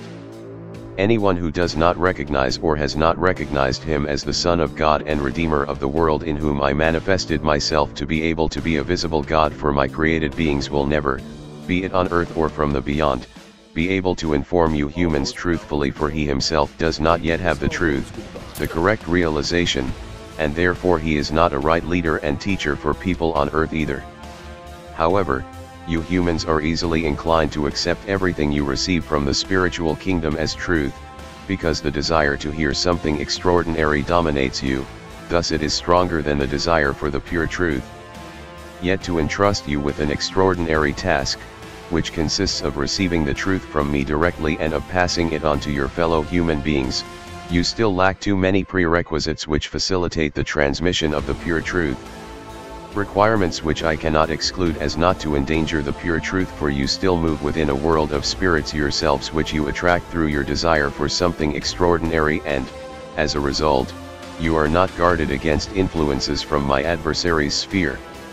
Neither do you free yourselves from this influence, instead you place yourselves at the disposal of these forces time and again which you, however, would definitely repel through a heartfelt devotion to me in Jesus Christ, through devotion to your Father and Redeemer, who is your refuge and protection against everything that is unspiritual and that wants to encroach upon you. Amen. False Christs will arise and perform signs and miracles in my name. This is what I announce to you ahead of time and my words are true. Yet you try to explain these words wrongly if you assume that the same power dwells within an evil force, an emissary of Satan, which made me work signs and miracles during my life on earth. Heaven and earth are at all times subject to my will, they are governed by my will, and this will of mine upholds every creation because a will that is contrary to mine would signify the decline of everything I let arise if I granted him power over it. And yet, signs and miracles will be performed, but they only ever appear as such to those people who are his followers, for they are spiritually blind, they don't know the true correlation of all things, and they will consider everything as signs and miracles which seems extraordinary to them but which every human being would be able to accomplish by mustering all his willpower. You are all in possession of abilities that you need only develop to accomplish many things. Yet your weakness of will prevents you from developing your abilities, and therefore something seems to you a miracle which, however, is within the scope of possibility for every single person. And thus all signs and miracles, which I mentioned to you, will be understandable to every enlightened person, yet those who still live in spiritual darkness will conclude that it is supernatural strength. And they will grant divine strength to those who are my opponents yet appear in my name to deceive humanity. The darker the spiritual night is which enshrouds people, the easier it will be to make them believe in miracles, they will accept every extraordinary activity by evil forces as such, yet the extraordinary working of light, of people whose will is inclined towards God, will not be acknowledged by them, and this alone is already a sign that people are under the spell of the one who seeks to fight against God. And yet they will make use of my name that is, they will proclaim themselves as Messiah. They will promise people deliverance from every adversity through them and their teachings for they will only try to win them over by describing themselves as representatives of the one who has all power over heaven and earth. And everyone is a false Christ who preaches wrong teaching in my name and who tries to confirm this teaching through extraordinary working which, however, can never be looked upon as a miracle. Amen. Satan works with much cunning and trickery and disguises himself so that he is difficult to recognize, for he often works in the same way as my chosen people to undermine my working. His constant effort consists of rendering ineffective the glow of light which I give, to extinguish it, or to prevent my light from affecting you, humans. For the truth is a danger to him to be recognized as my adversary, this is why he will often make use of the same means to then gain followers for himself who will no longer pay attention to my soft light. He only ever intends to undermine my influence on people, he puts himself in the forefront and wants to be acknowledged as being divine, because he believes himself to have won his gamble if he can dethrone me and occupy my place in people's hearts and he will also be very successful as soon as people deprive themselves of their realization by merely possessing one of my adversary's faults, as soon as they are spiritually arrogant and therefore don't come to meet me with profound humility which then will also protect them from ungodly influence. My adversary often confuses people's thoughts, showering them with praise and words of approval which dispel all humility, and anyone who lays claim to such words will already have been defeated by him, he will have fallen into his hands and become a welcome object for his plan of endangering the pure truth, the light from above, by seemingly working similarly which, however, does not originate from me but will be feigned by my adversary as such to confuse people and with this working. Simultaneously also reject the working of my spirit, which is the pure truth. Thus you will also understand my warnings about false prophets. For wherever true prophets exist there will also at all times be false prophets who appear or become apparent, who always come forward in similar ways and yet have not been sent by me. And the certain sign of recognition for my adversary is the fact that he will always turn up where a great spiritual action has been initiated, that is, where the world of light clearly makes contact with the earth and where the divine activity is undeniably recognizable. This is where the adversary will take up room, namely by entering the circle of those who strive towards me and effectively laying claim to the divine gifts of grace himself, to continue and slowly but surely work against it until he has succeeded in repressing the truth and placing his work in the forefront.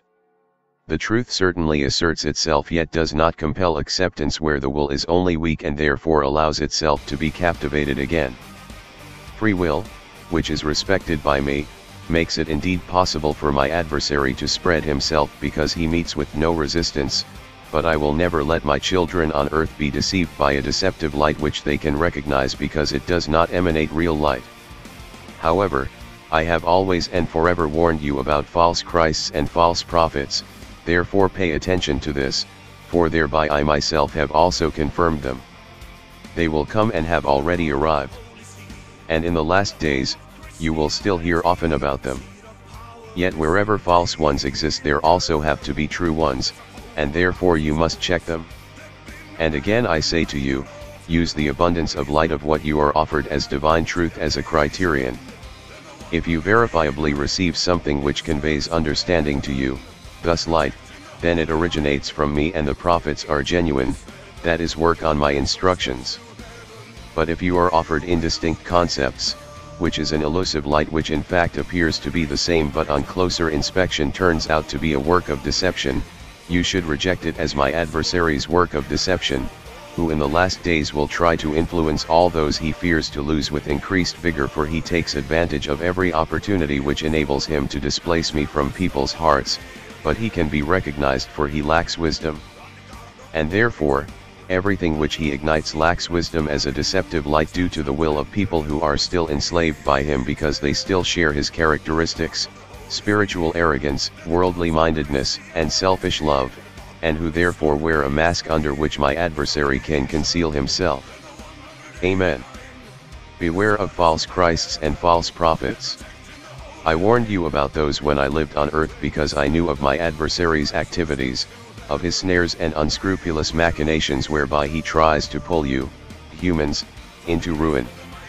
He is using all means, and this especially during the last days to increase the darkness in which humanity languishes there will be people everywhere who claim to be knowing and initiated into the secrets of creation, who demand people's recognition and faith in their spiritual experiences, and who are but my adversary's tools because they support and spread spiritual knowledge which completely contradicts the truth. False Christs and false prophets will appear in large numbers. They will all wear the cloak of divine messengers, they will all claim to possess the knowledge and to be in contact with the highest representatives they will pretend to be messengers of light and yet walk in profound darkness themselves, and therefore they will only ever spread darkness amongst their fellow human beings. They cannot emanate light because they don't possess light themselves, yet their mannerisms are so self-assured that people do not dare doubt the divine mission of those who, nevertheless, in reality, work for my adversary. But only people who live in truth themselves will be able to recognize this and they, in turn, will be described by them to be false prophets. And it will be difficult to convince oneself of the true prophet's divine mission, yet it is not impossible. The fact that true prophets exist is proven by my warning against false prophets. However, you need only ever seriously desire not to fall prey to the latter and truly, you will also know whom to turn to. For my messengers will bring you a message which will touch your soul in a comforting and helpful way, which will affect you like a nourishing meal and refreshing drink, which you will continue to desire and thereby become noticeably strengthened for your earthly life's path. Whereas the alleged knowledge conveyed to you by wrong teachings cannot convince you of the truth and does not result in any illumination or stimulation of your soul. It is and remains barren knowledge which you will find barely credible and of little use to you. It is more likely to cause you to dread and fear because you are unable to detect a loving God therein, who behaves like a father with his child. False prophets will never be able to offer people pure truth, and the adversary's only intentions are to undermine the truth, to entangle people in error. His most eager endeavor consists of withholding from people the truth about Jesus Christ and his act of salvation, about God's human manifestation in Jesus, or to confuse their thoughts such that they won't take the path to the cross and thereby their earthly path remains unsuccessful for their souls and no means is too evil for him to use, because Jesus defeated him through his crucifixion, and he is trying to regain the fruits of his victory again. Souls who turn to Jesus are lost to him. Consequently, he will try to give an entirely wrong description of Jesus so that they do not see any reason why they should take the path to the cross. The truthful portrayal of the act of salvation also has a redeeming effect, and this means that my adversary will lose his followers, which he tries to prevent by cunning and trickery. And you humans can truly and easily recognize every false prophet yourselves by the fact that he withholds the knowledge of the salvation through Jesus Christ from you, and thus you are entitled to dismiss him as a false prophet. And especially during the last days, you can notice increasingly more often that most diverse descriptions of spiritual subjects are given by those who present themselves as prophets of truth. Yet in one instance they all agree that salvation through Jesus Christ, the sacrifice on the cross by the man Jesus to redeem the immense guilt of sin, is doubtful because the belief in this signifies a loss of followers for my adversary and he does not want to lose them. Jesus Christ has been argued about for centuries because time and again false prophets arose who had already proven their affiliation to my adversary and were influenced by him to act against Jesus. Although they were unable to completely dispute the earthly life of the man Jesus and thereby remove the knowledge of him entirely, the real purpose of his earthly existence. His redeeming mission was repeatedly portrayed as misguided teaching which removed people's hope of ever being released from their guilt of sin unless they themselves made amends unless they thus believed these false prophets. Yet no human being will ever be able to release himself from his immense guilt of sin without the help of Jesus Christ. No human being will ever succeed in perfecting himself by his own strength without Jesus Christ, because the original sin absolutely prevents this. Hence self-redemption is impossible, irrespective of how sincerely it is aspired to because the human being's will is too weak and would fail time and again. Regardless of how you are instructed, if Jesus Christ is not portrayed as the Son of God and Savior of the world, in whom I embodied myself, you are not taught the complete truth, and you will not become eternally free, since only truth will set you free. And I myself transmit this truth to you, I myself, your God and Creator of eternity, the greatest and most perfect Spirit in infinity.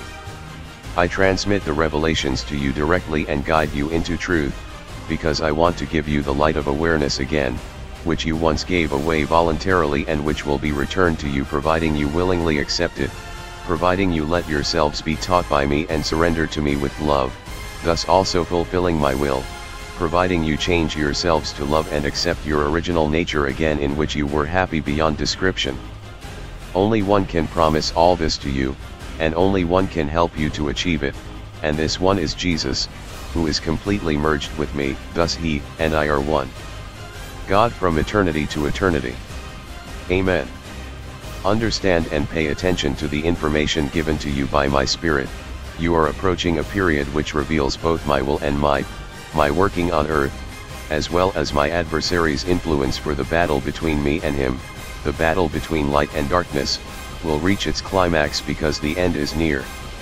You will be tossed to and fro like a plaything, both in a spiritual as well as an earthly way. You will be besieged to confuse your thoughts and attitude, but at the same time, my messengers will bring you tidings from me you will also be plunged into earthly difficulties so that you will feel helpless and abandoned. Yet one path will always be open to you, you will always be able to call upon the one for help in every spiritual and earthly adversity. And as long as this path is still open to you, you need not fear the forthcoming time. Satan's influence will always be recognized everywhere, but so will my abundantly loving and merciful effect on all people who merely acknowledge me, who do not forget about me during the harshest time of battle and who therefore prompt me to fight by their side, so that they will not be defeated by the enemy of their souls. Yet my adversary works with cunning and force. He shrouds himself in a garment of the Messiah, he promises people earthly improvements and thereby entices gullible people into this net, who have so far been unable to detach their heart from worldly possessions. And the darkness will spread to a frightening extent. People everywhere will follow the deceptive light, they will bypass the true light and chase after a flame that does not emit light, which does not signify enlightenment in humanity's spiritual darkness. And the bearers of light will be ignored, indeed, an attempt will even be made to extinguish their flame and, in so doing, to force the bearers of light to remain secret but then I will provide my messengers with overwhelming strength so that they will nevertheless work freely and need not worry that the light will be extinguished. Then I will also obviously come to the fore, bestowing strength and grace when my own suffer adversity so that the battle of light against darkness will become clearly recognizable and my own will know that the end is not far away. For the prospect of the end will allow them to endure everything, since then they will only wait for the fulfillment of my word to see me myself coming in the clouds to deliver them from all adversity and to banish my opponent. And my grace and love will ease their earthly fate and make every tribulation bearable, For as soon as they fight for me I will provide them with great strength on account of which they will be capable of offering Satan resistance and fearlessly put up with earthly threats, for I myself will always stand by their side and, in the certainty of that, they will remain faithful to me until the end. I will come soon. Satan will only work for a certain length of time, and I myself will shorten the days so that my own will be able to persevere. However, because of this Satan will rage shockingly, for he knows that his time of activity is only short. He knows that he only has little time left. But don't be afraid, my faithful followers.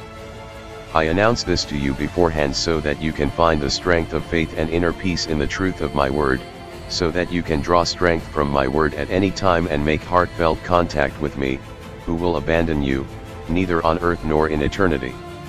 Amen. The spirit of the Antichrist has been in the world since Jesus Christ accomplished his act of salvation.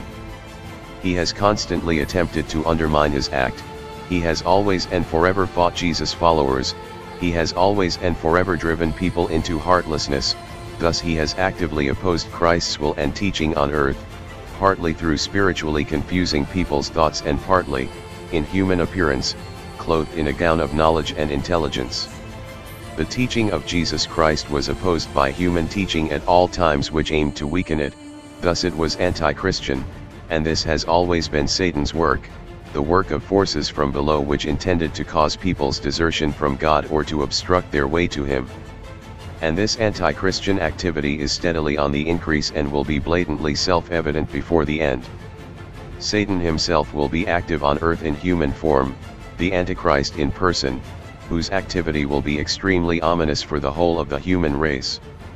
For he will initiate laws which aim to eradicate spiritually minded thoughts, which will prevent all spiritual endeavor and intend to entirely secularize people. And this will be the last work of the one who fights against God, for he will be transgressing the limit of his authority, which is relentlessly punished by God. The change of worldly events will be rapid, extensive worldly changes will occur in short succession and a ruling power will come to the fore by wanting to direct the state of affairs of all nations and, instead of order, will cause utter disorder. For his regulations will first and foremost apply to the suppression of all faith. He will find many supporters on earth, and that will be the sign for the end for people won't resist it but will almost unanimously profess and celebrate him as a hero and victor whose goal they acknowledge and consequently also support. And this will be the start of the most difficult time for believers. It will seem incomprehensible to them what is going on in the world, it will seem incomprehensible to them that God's love and patience allow his most sacred name to be slandered and ridiculed and Jesus Christ's followers to be ostracized and pursued most brutally. Yet they penetrate the truth of the divine word evermore, which has predicted all this, and thus they also faithfully commit themselves to God's guidance.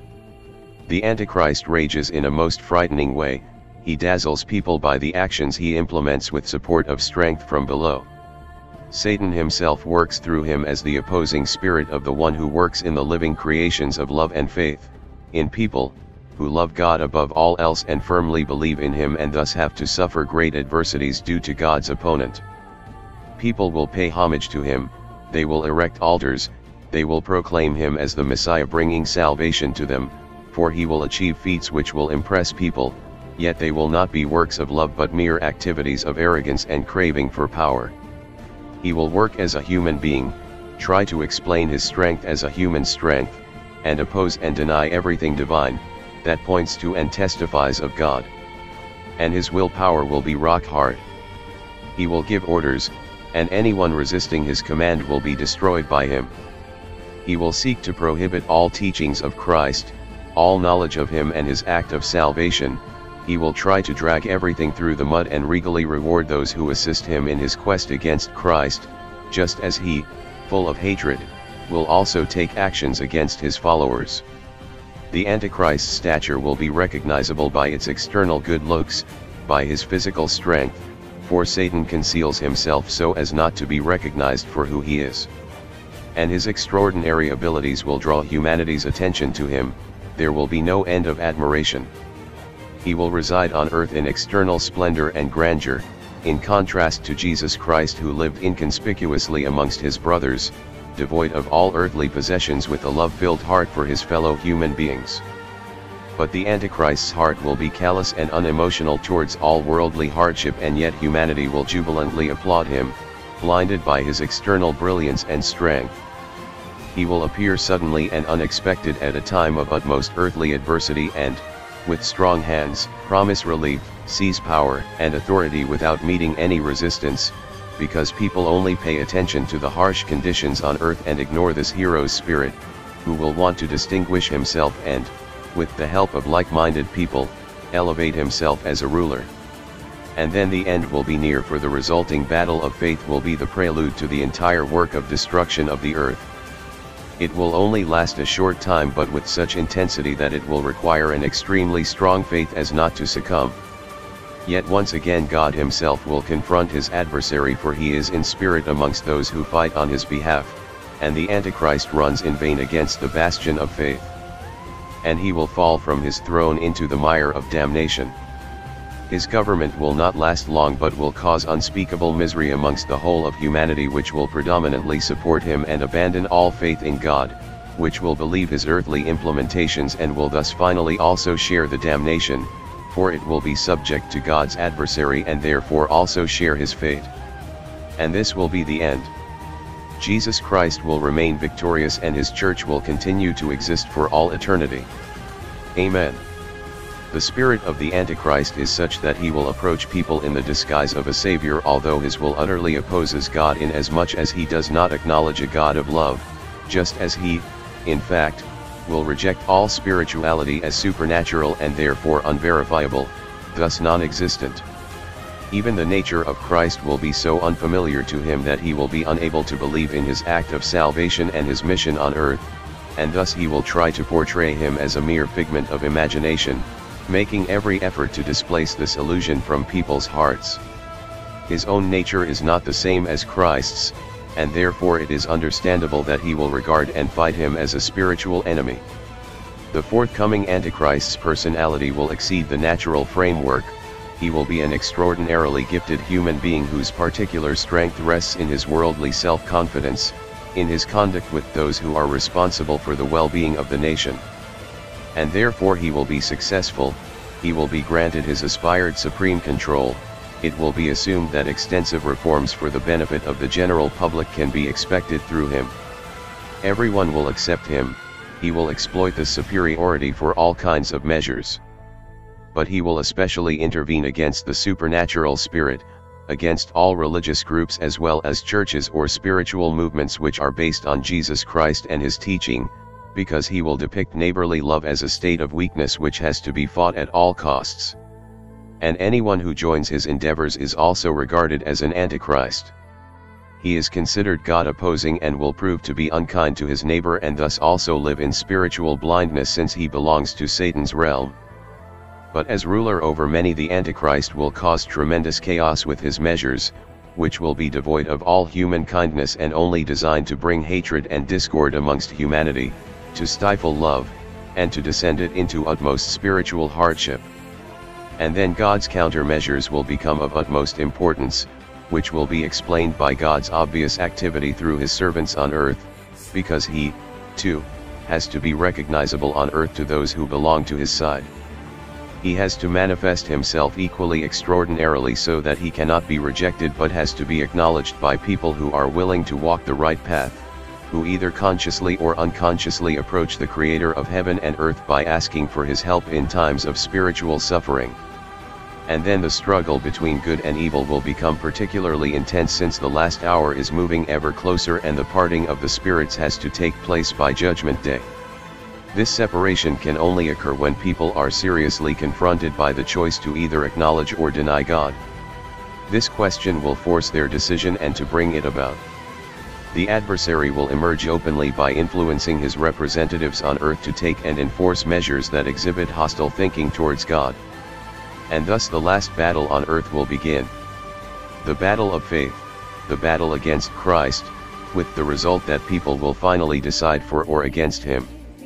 And then comes the judgment because they will turn for or against God of their own free will, and this free will they have to answer for, This conflict is inevitable as it distinctly highlights the Antichrist's nature, and all of humanity will then be able to assess the thoughts and actions of the one who appears in the disguise of a savior to realize his shameful plans, who openly fights against God and therefore will be banished into the earth again for a long time, from where he cannot release himself until he is once again helped by people whose wrong love for the matter will loosen Satan's chains.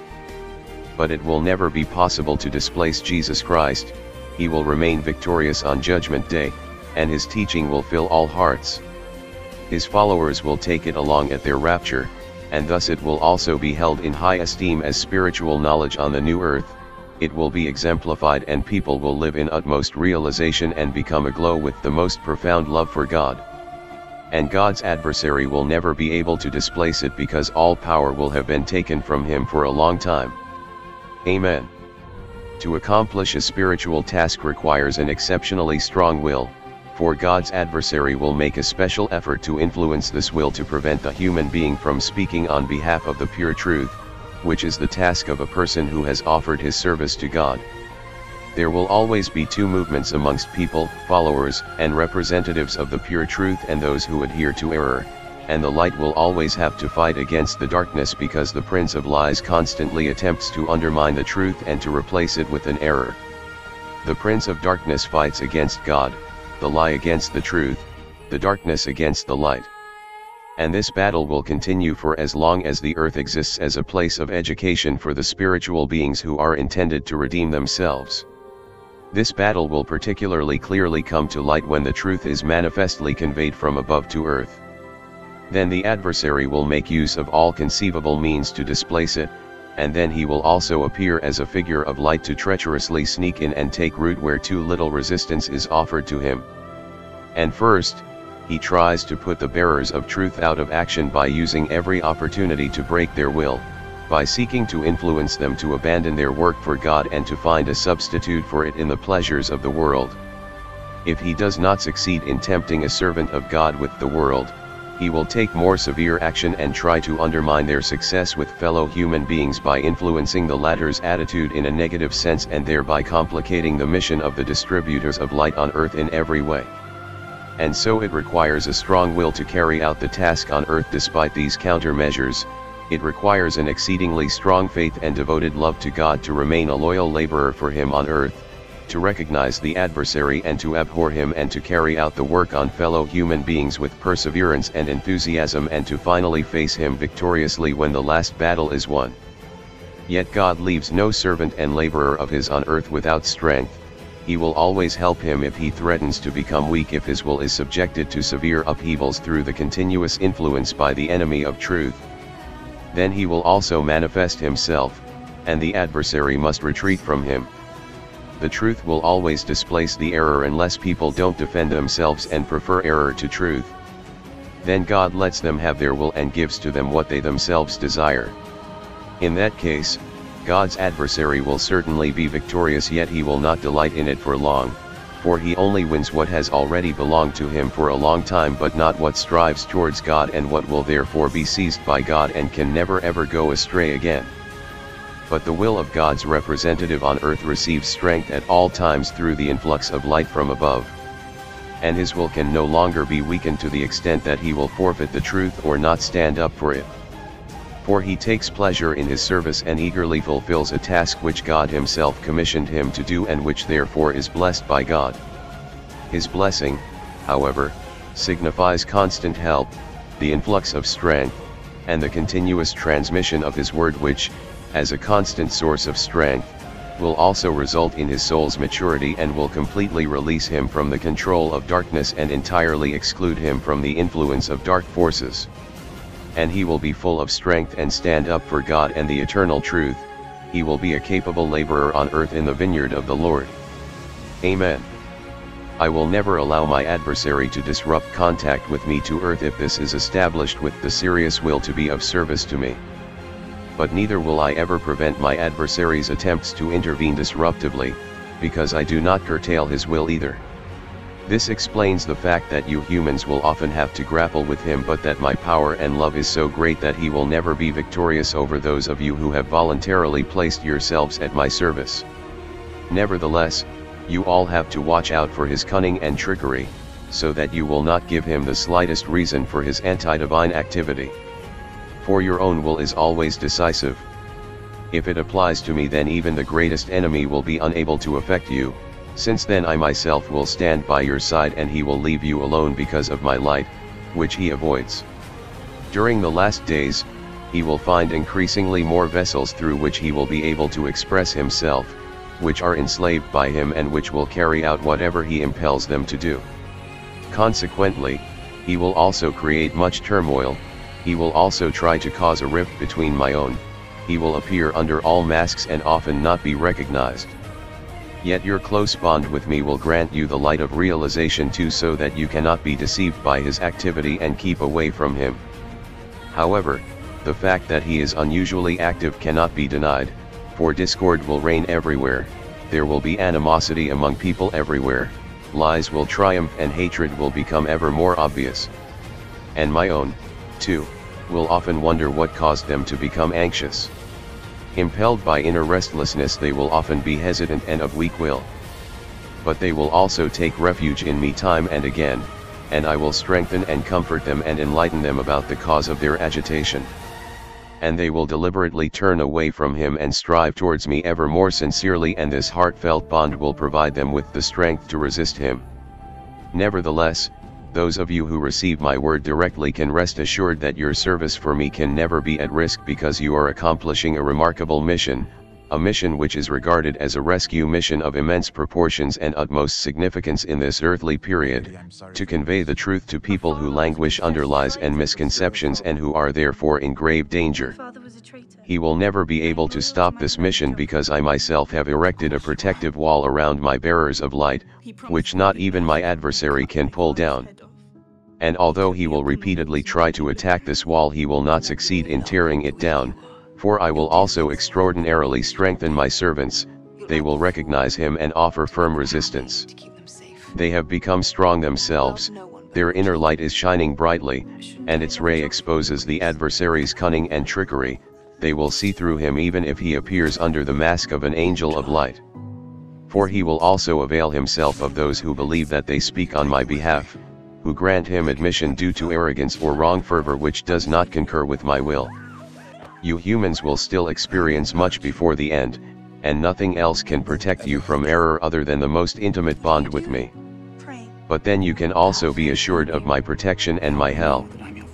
Then I will not let you fall into the hand of the one who is my enemy and adversary.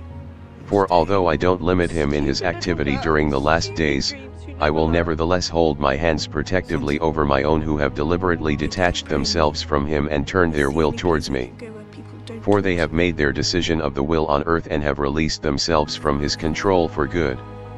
Amen. Always remain in the spirit of love.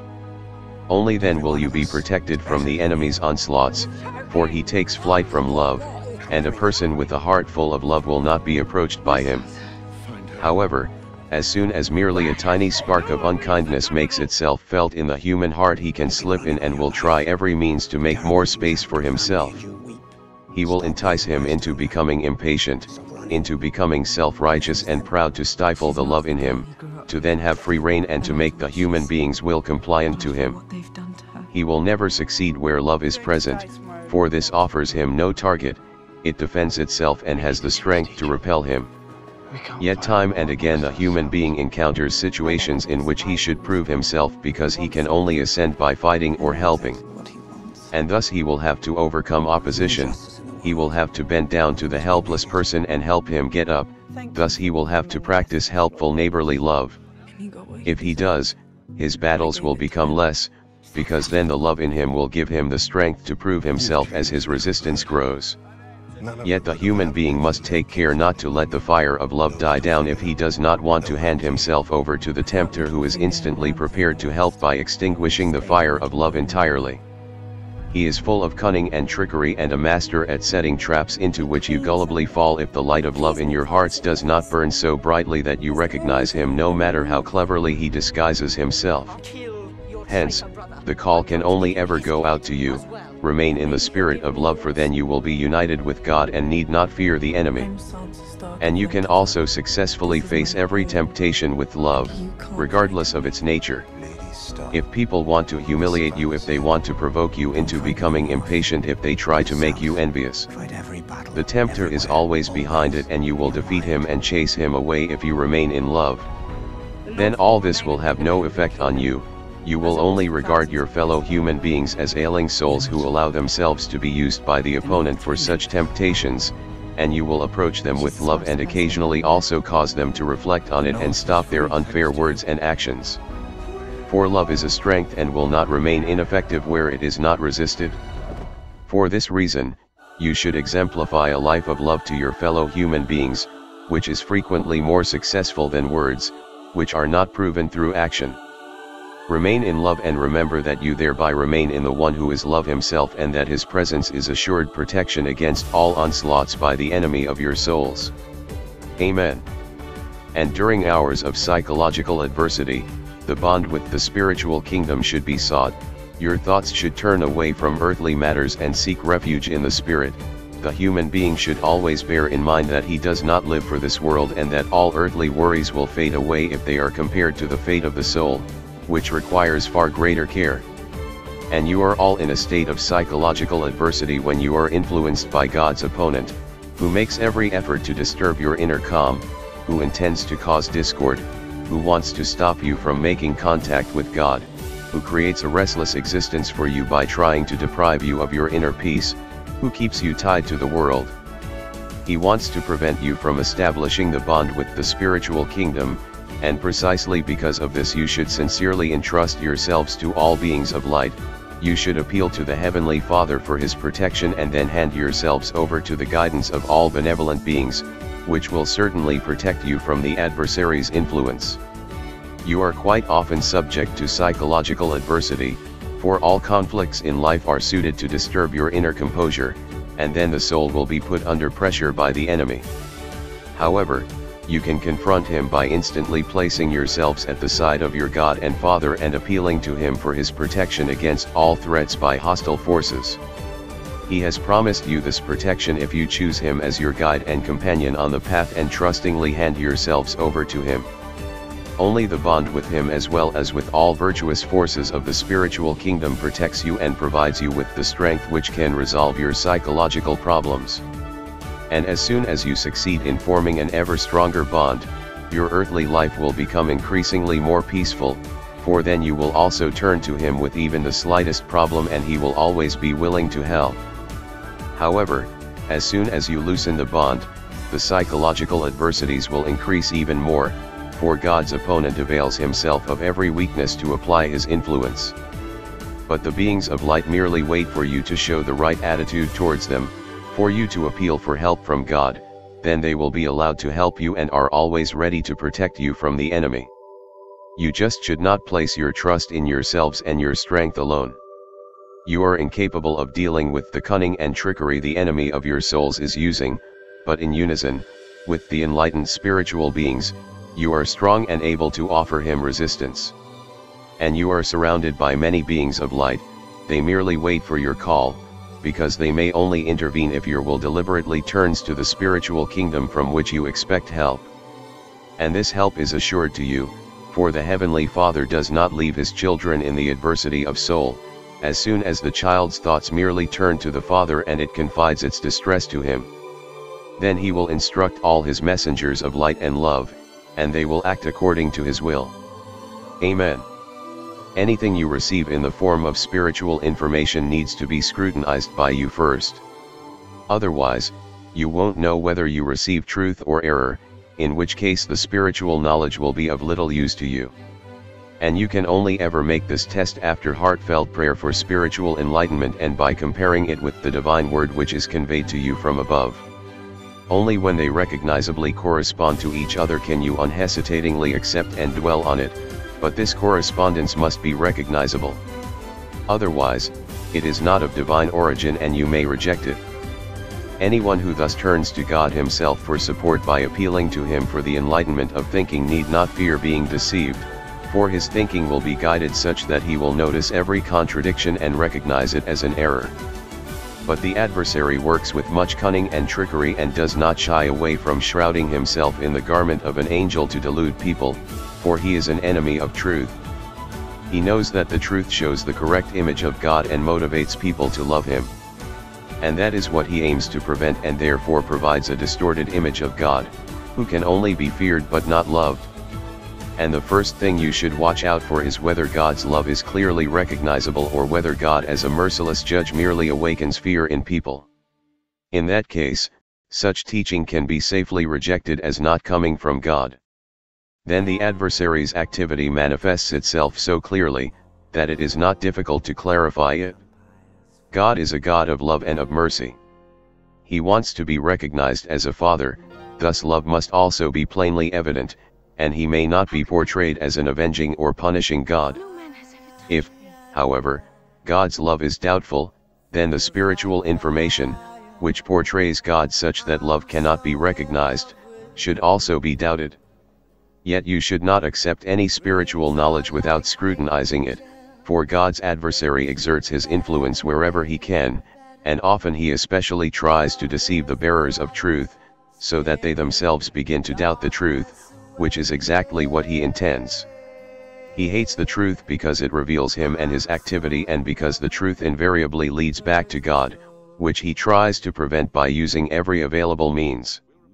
And it will always be and remain a battle between truth and lie, between light and darkness.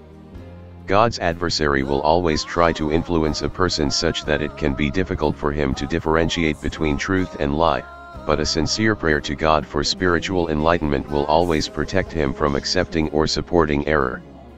For if the strength from God is desired it will also be effective, it grants the human being a brightly shining light. For God is love and love does not deny itself. God himself protects his living creations from the darkness if they desire to be enlightened. Amen. My adversary seeks to extinguish the light which shines brightly down to earth and all of you will still experience his activity, for he does not shy away from anything if he believes he can reach his goal with it. And the light shines brightly already and places those people who accept it and allow it to shine into their hearts into a state of realization. The light, however, exposes my adversary, and people try to detach themselves from him, for they see the cross of Christ light up and turn to the divine Redeemer for help to release them from the enemy of their souls. For this reason, he leaves no stone unturned to extinguish the light from me. Yet he will have little success, for those who belong to me are also capable of offering him resistance. And they also receive the strength from me to take their path as bearers of light, they protect the light themselves, because they are faithfully devoted to me and thus the adversary has no power over them. It is the time of the end where my adversary's activity emerges ever more fiercely, but I, too, will reveal myself remarkably and my own will recognize me and remain loyal to me, precisely because they are enlightened because they know about the battle between darkness and light. And every individual person will have to battle it out with the adversary as well, however, I will stand by anyone's side who wants to belong to me and he will be victorious, he will recognize where shadows spread across the light and leave the situation as long as the adversary works in it. Yet a person can consider himself fortunate if he has entered the flow of love which comes to you in the form of my words. The darkness can no longer scare him and neither need he fears that his light will be taken away from him and that he will descend into darkness again. But he must voluntarily have entered the kingdom of my light, he must accept my word, which is conveyed to earth from above, in his heart and thus open it of his own accord so that the light from above can shine in and brightly illuminate him from within. Then he truly needs no longer fear my adversary's game of deceit, then he will ward off the adversary himself through the light, which the latter avoids. And if you fear that you don't have enough strength to fend him off when he beleaguers you, then take the path to the cross, call upon Jesus and appeal to him for strength, and your desire for Jesus will be a certain means of defense against the enemy, for Jesus once faced him in battle and defeated him. And thus his power was broken, he will never be able to rise against Jesus, he will never succeed in snatching a human being back from Jesus again, for he protectively holds his hand over the one whose soul he bought back from his adversary with his blood. Jesus Christ is the divine Redeemer who was merely my shell in which I embodied myself to give you humans your freedom again if it is your will to liberate yourselves from his control. And once you have turned to me in Jesus again, he can truly no longer snatch you from me because his power will have been broken. And anyone who has taken the path to the cross, to Jesus, lives in the light as well. This is why my adversary spends the greatest effort to extinguish every light which might illuminate the path to the cross for people. Yet he is incapable of achieving anything if the human being himself doesn't want it. You should always bear in mind that you need only desire the light for it to shine for you that you should only have Jesus as your goal and that you will safely reach this goal, for only your will decides whether you live in light or in darkness. My side will always kindle a light for you, my side will impart the truth to you and in its bright radiance, you will also find the right path. I myself radiate the light to earth by sounding my word, I myself speak to you and that also signifies the illumination of your hearts with my light of love and then only your will determines the degree of realization, for my word is instructive and informs you of my will. If you comply with it, the light will become increasingly brighter and you will recognize my adversary's activity and offer him resistance. And he will leave you alone because he avoids the area of light you occupy now. After all, you have become my own. Amen. You should be vigilant and pray so that you will not fall when you are being tempted. My adversary's onslaught against those of you who want to remain faithful to me will be relentless to estrange you from me. He uses all means and not least of all those which intend to disable you from establishing contact with me so that he will have an easy game as soon as you are weak. He lies in wait for opportunities to cause your downfall and only someone with a strong will, someone who can send a thought up to me for help will not succumb to him. Call upon me in every adversity of body and soul. This is what I call to pray and watch. Direct your thoughts upwards where he cannot follow you and you will safely escape from him and place yourselves under my protection. He will try to shackle you to earth with all his might, to that which is his share and which belongs to his realm. He will want you to abscond from me, from spiritual striving, he will cause you to doubt and want to confuse your thoughts through adversities and dread so that you won't find your way back to me so that you will engross yourselves in earthly things and forget about me.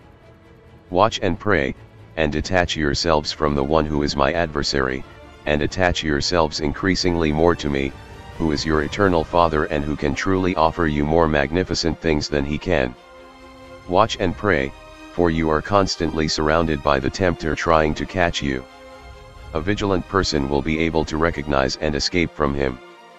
And be joyful and happy in knowing that I am your constant protector whom you can turn to when you are threatened by danger, for I hear the faintest call coming from your heart and will support you so that you will be victorious in your battle against him. But anyone who places too much trust in his own strength and believes that he can do without my help will succumb, for he is overestimating himself and failing to consider that the adversary's strength is greater than his you will win with me but succumb without me and fall prey to every temptation. But to walk with me means to allow my presence through prayer and kind-hearted activity. Then you are protected against all incursions by the enemy, then he will be powerless against you, for then he would have to fight against me and I am far more powerful than he is. Watch and pray, then he will have lost his target, he will avoid you because then you will be surrounded by a light which emanates my presence and that is intolerable to him. Call upon me in every temptation and I will always be with you. Amen. Deliver us from evil. You are often approached by temptations which are indeed permitted by me but which are always my adversary's activity, because he also fights for every soul and therefore tries to influence the human being to oppose me, thus to encourage him to sin. These temptations are always an obstacle for the human being which can make him fall, yet I, too, won't leave him without grace as a countermeasure against Satan. I, too, will come forward, distinctly and recognizably, when the human being is facing a crucial decision when he is pushed off the right path by my adversary's cunning and is still uncertain. Then a short quick prayer is enough, thought to me, deliver us from evil. I will clearly step forward by revealing the right path to him, and I will show him the darkness of the other path he was in danger of taking.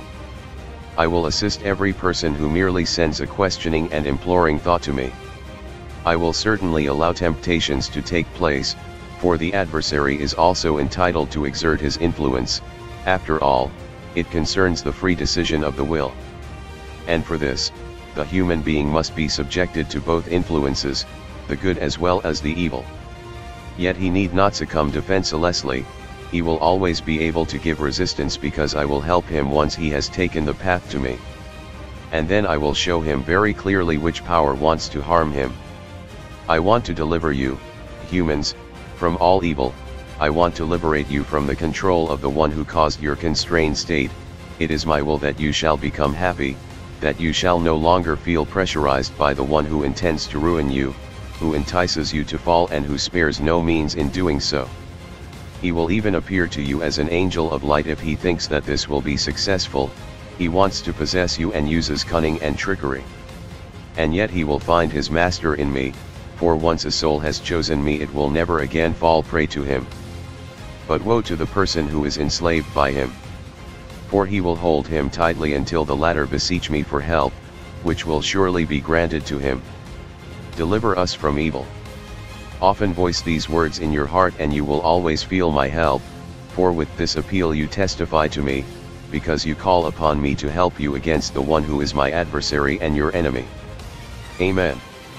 You can live your earthly life without worrying as soon as you have found me as soon as you are united with me through prayer and activity of love, for then you have voluntarily returned to me and can never ever go astray again. And even if you are confronted by temptations because my adversary keeps believing that he can win you for himself, you nevertheless need not fear these temptations because I will protect you from falling prey to them. For your voluntary dedication to me has given me the right to do so, but neither will I contest his entitlement to fight for the souls which are embodied as human beings in the earthly life.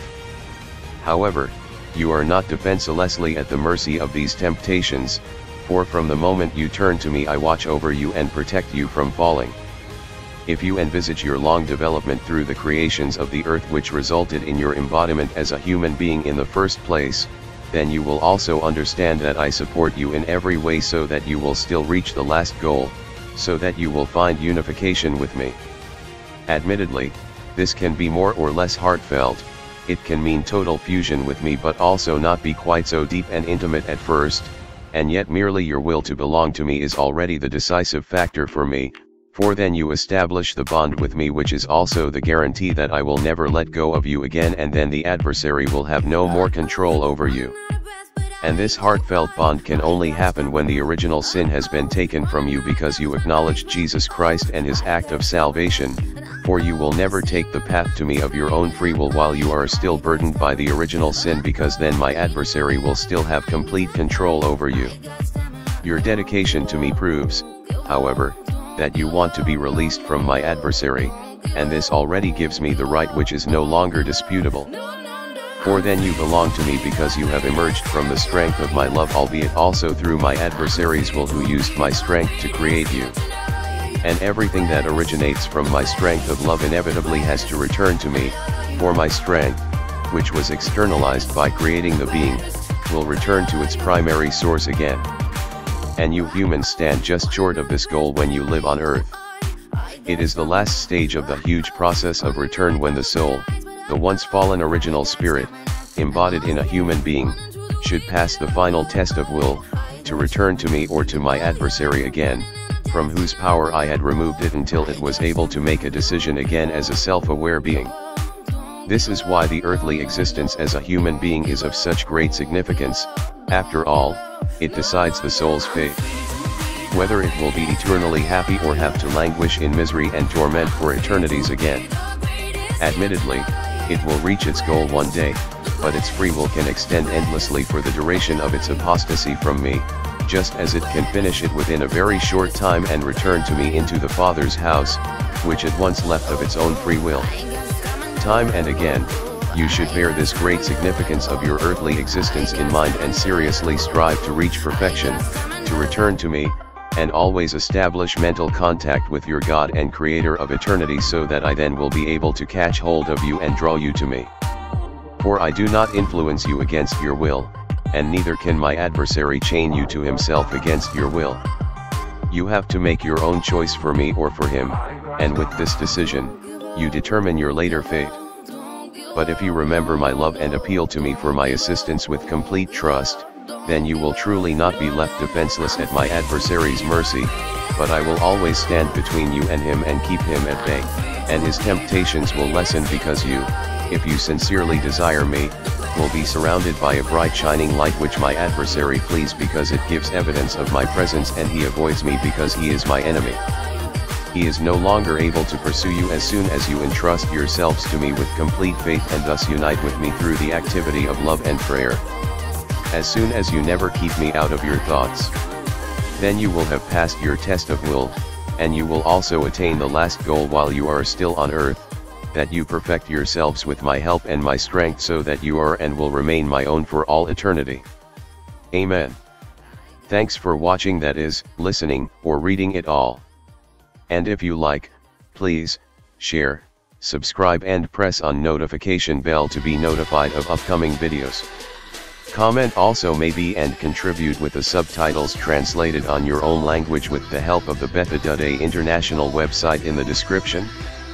Then download and upload them all. What should mean, became an apostle too. Thank you very much. Love, you too.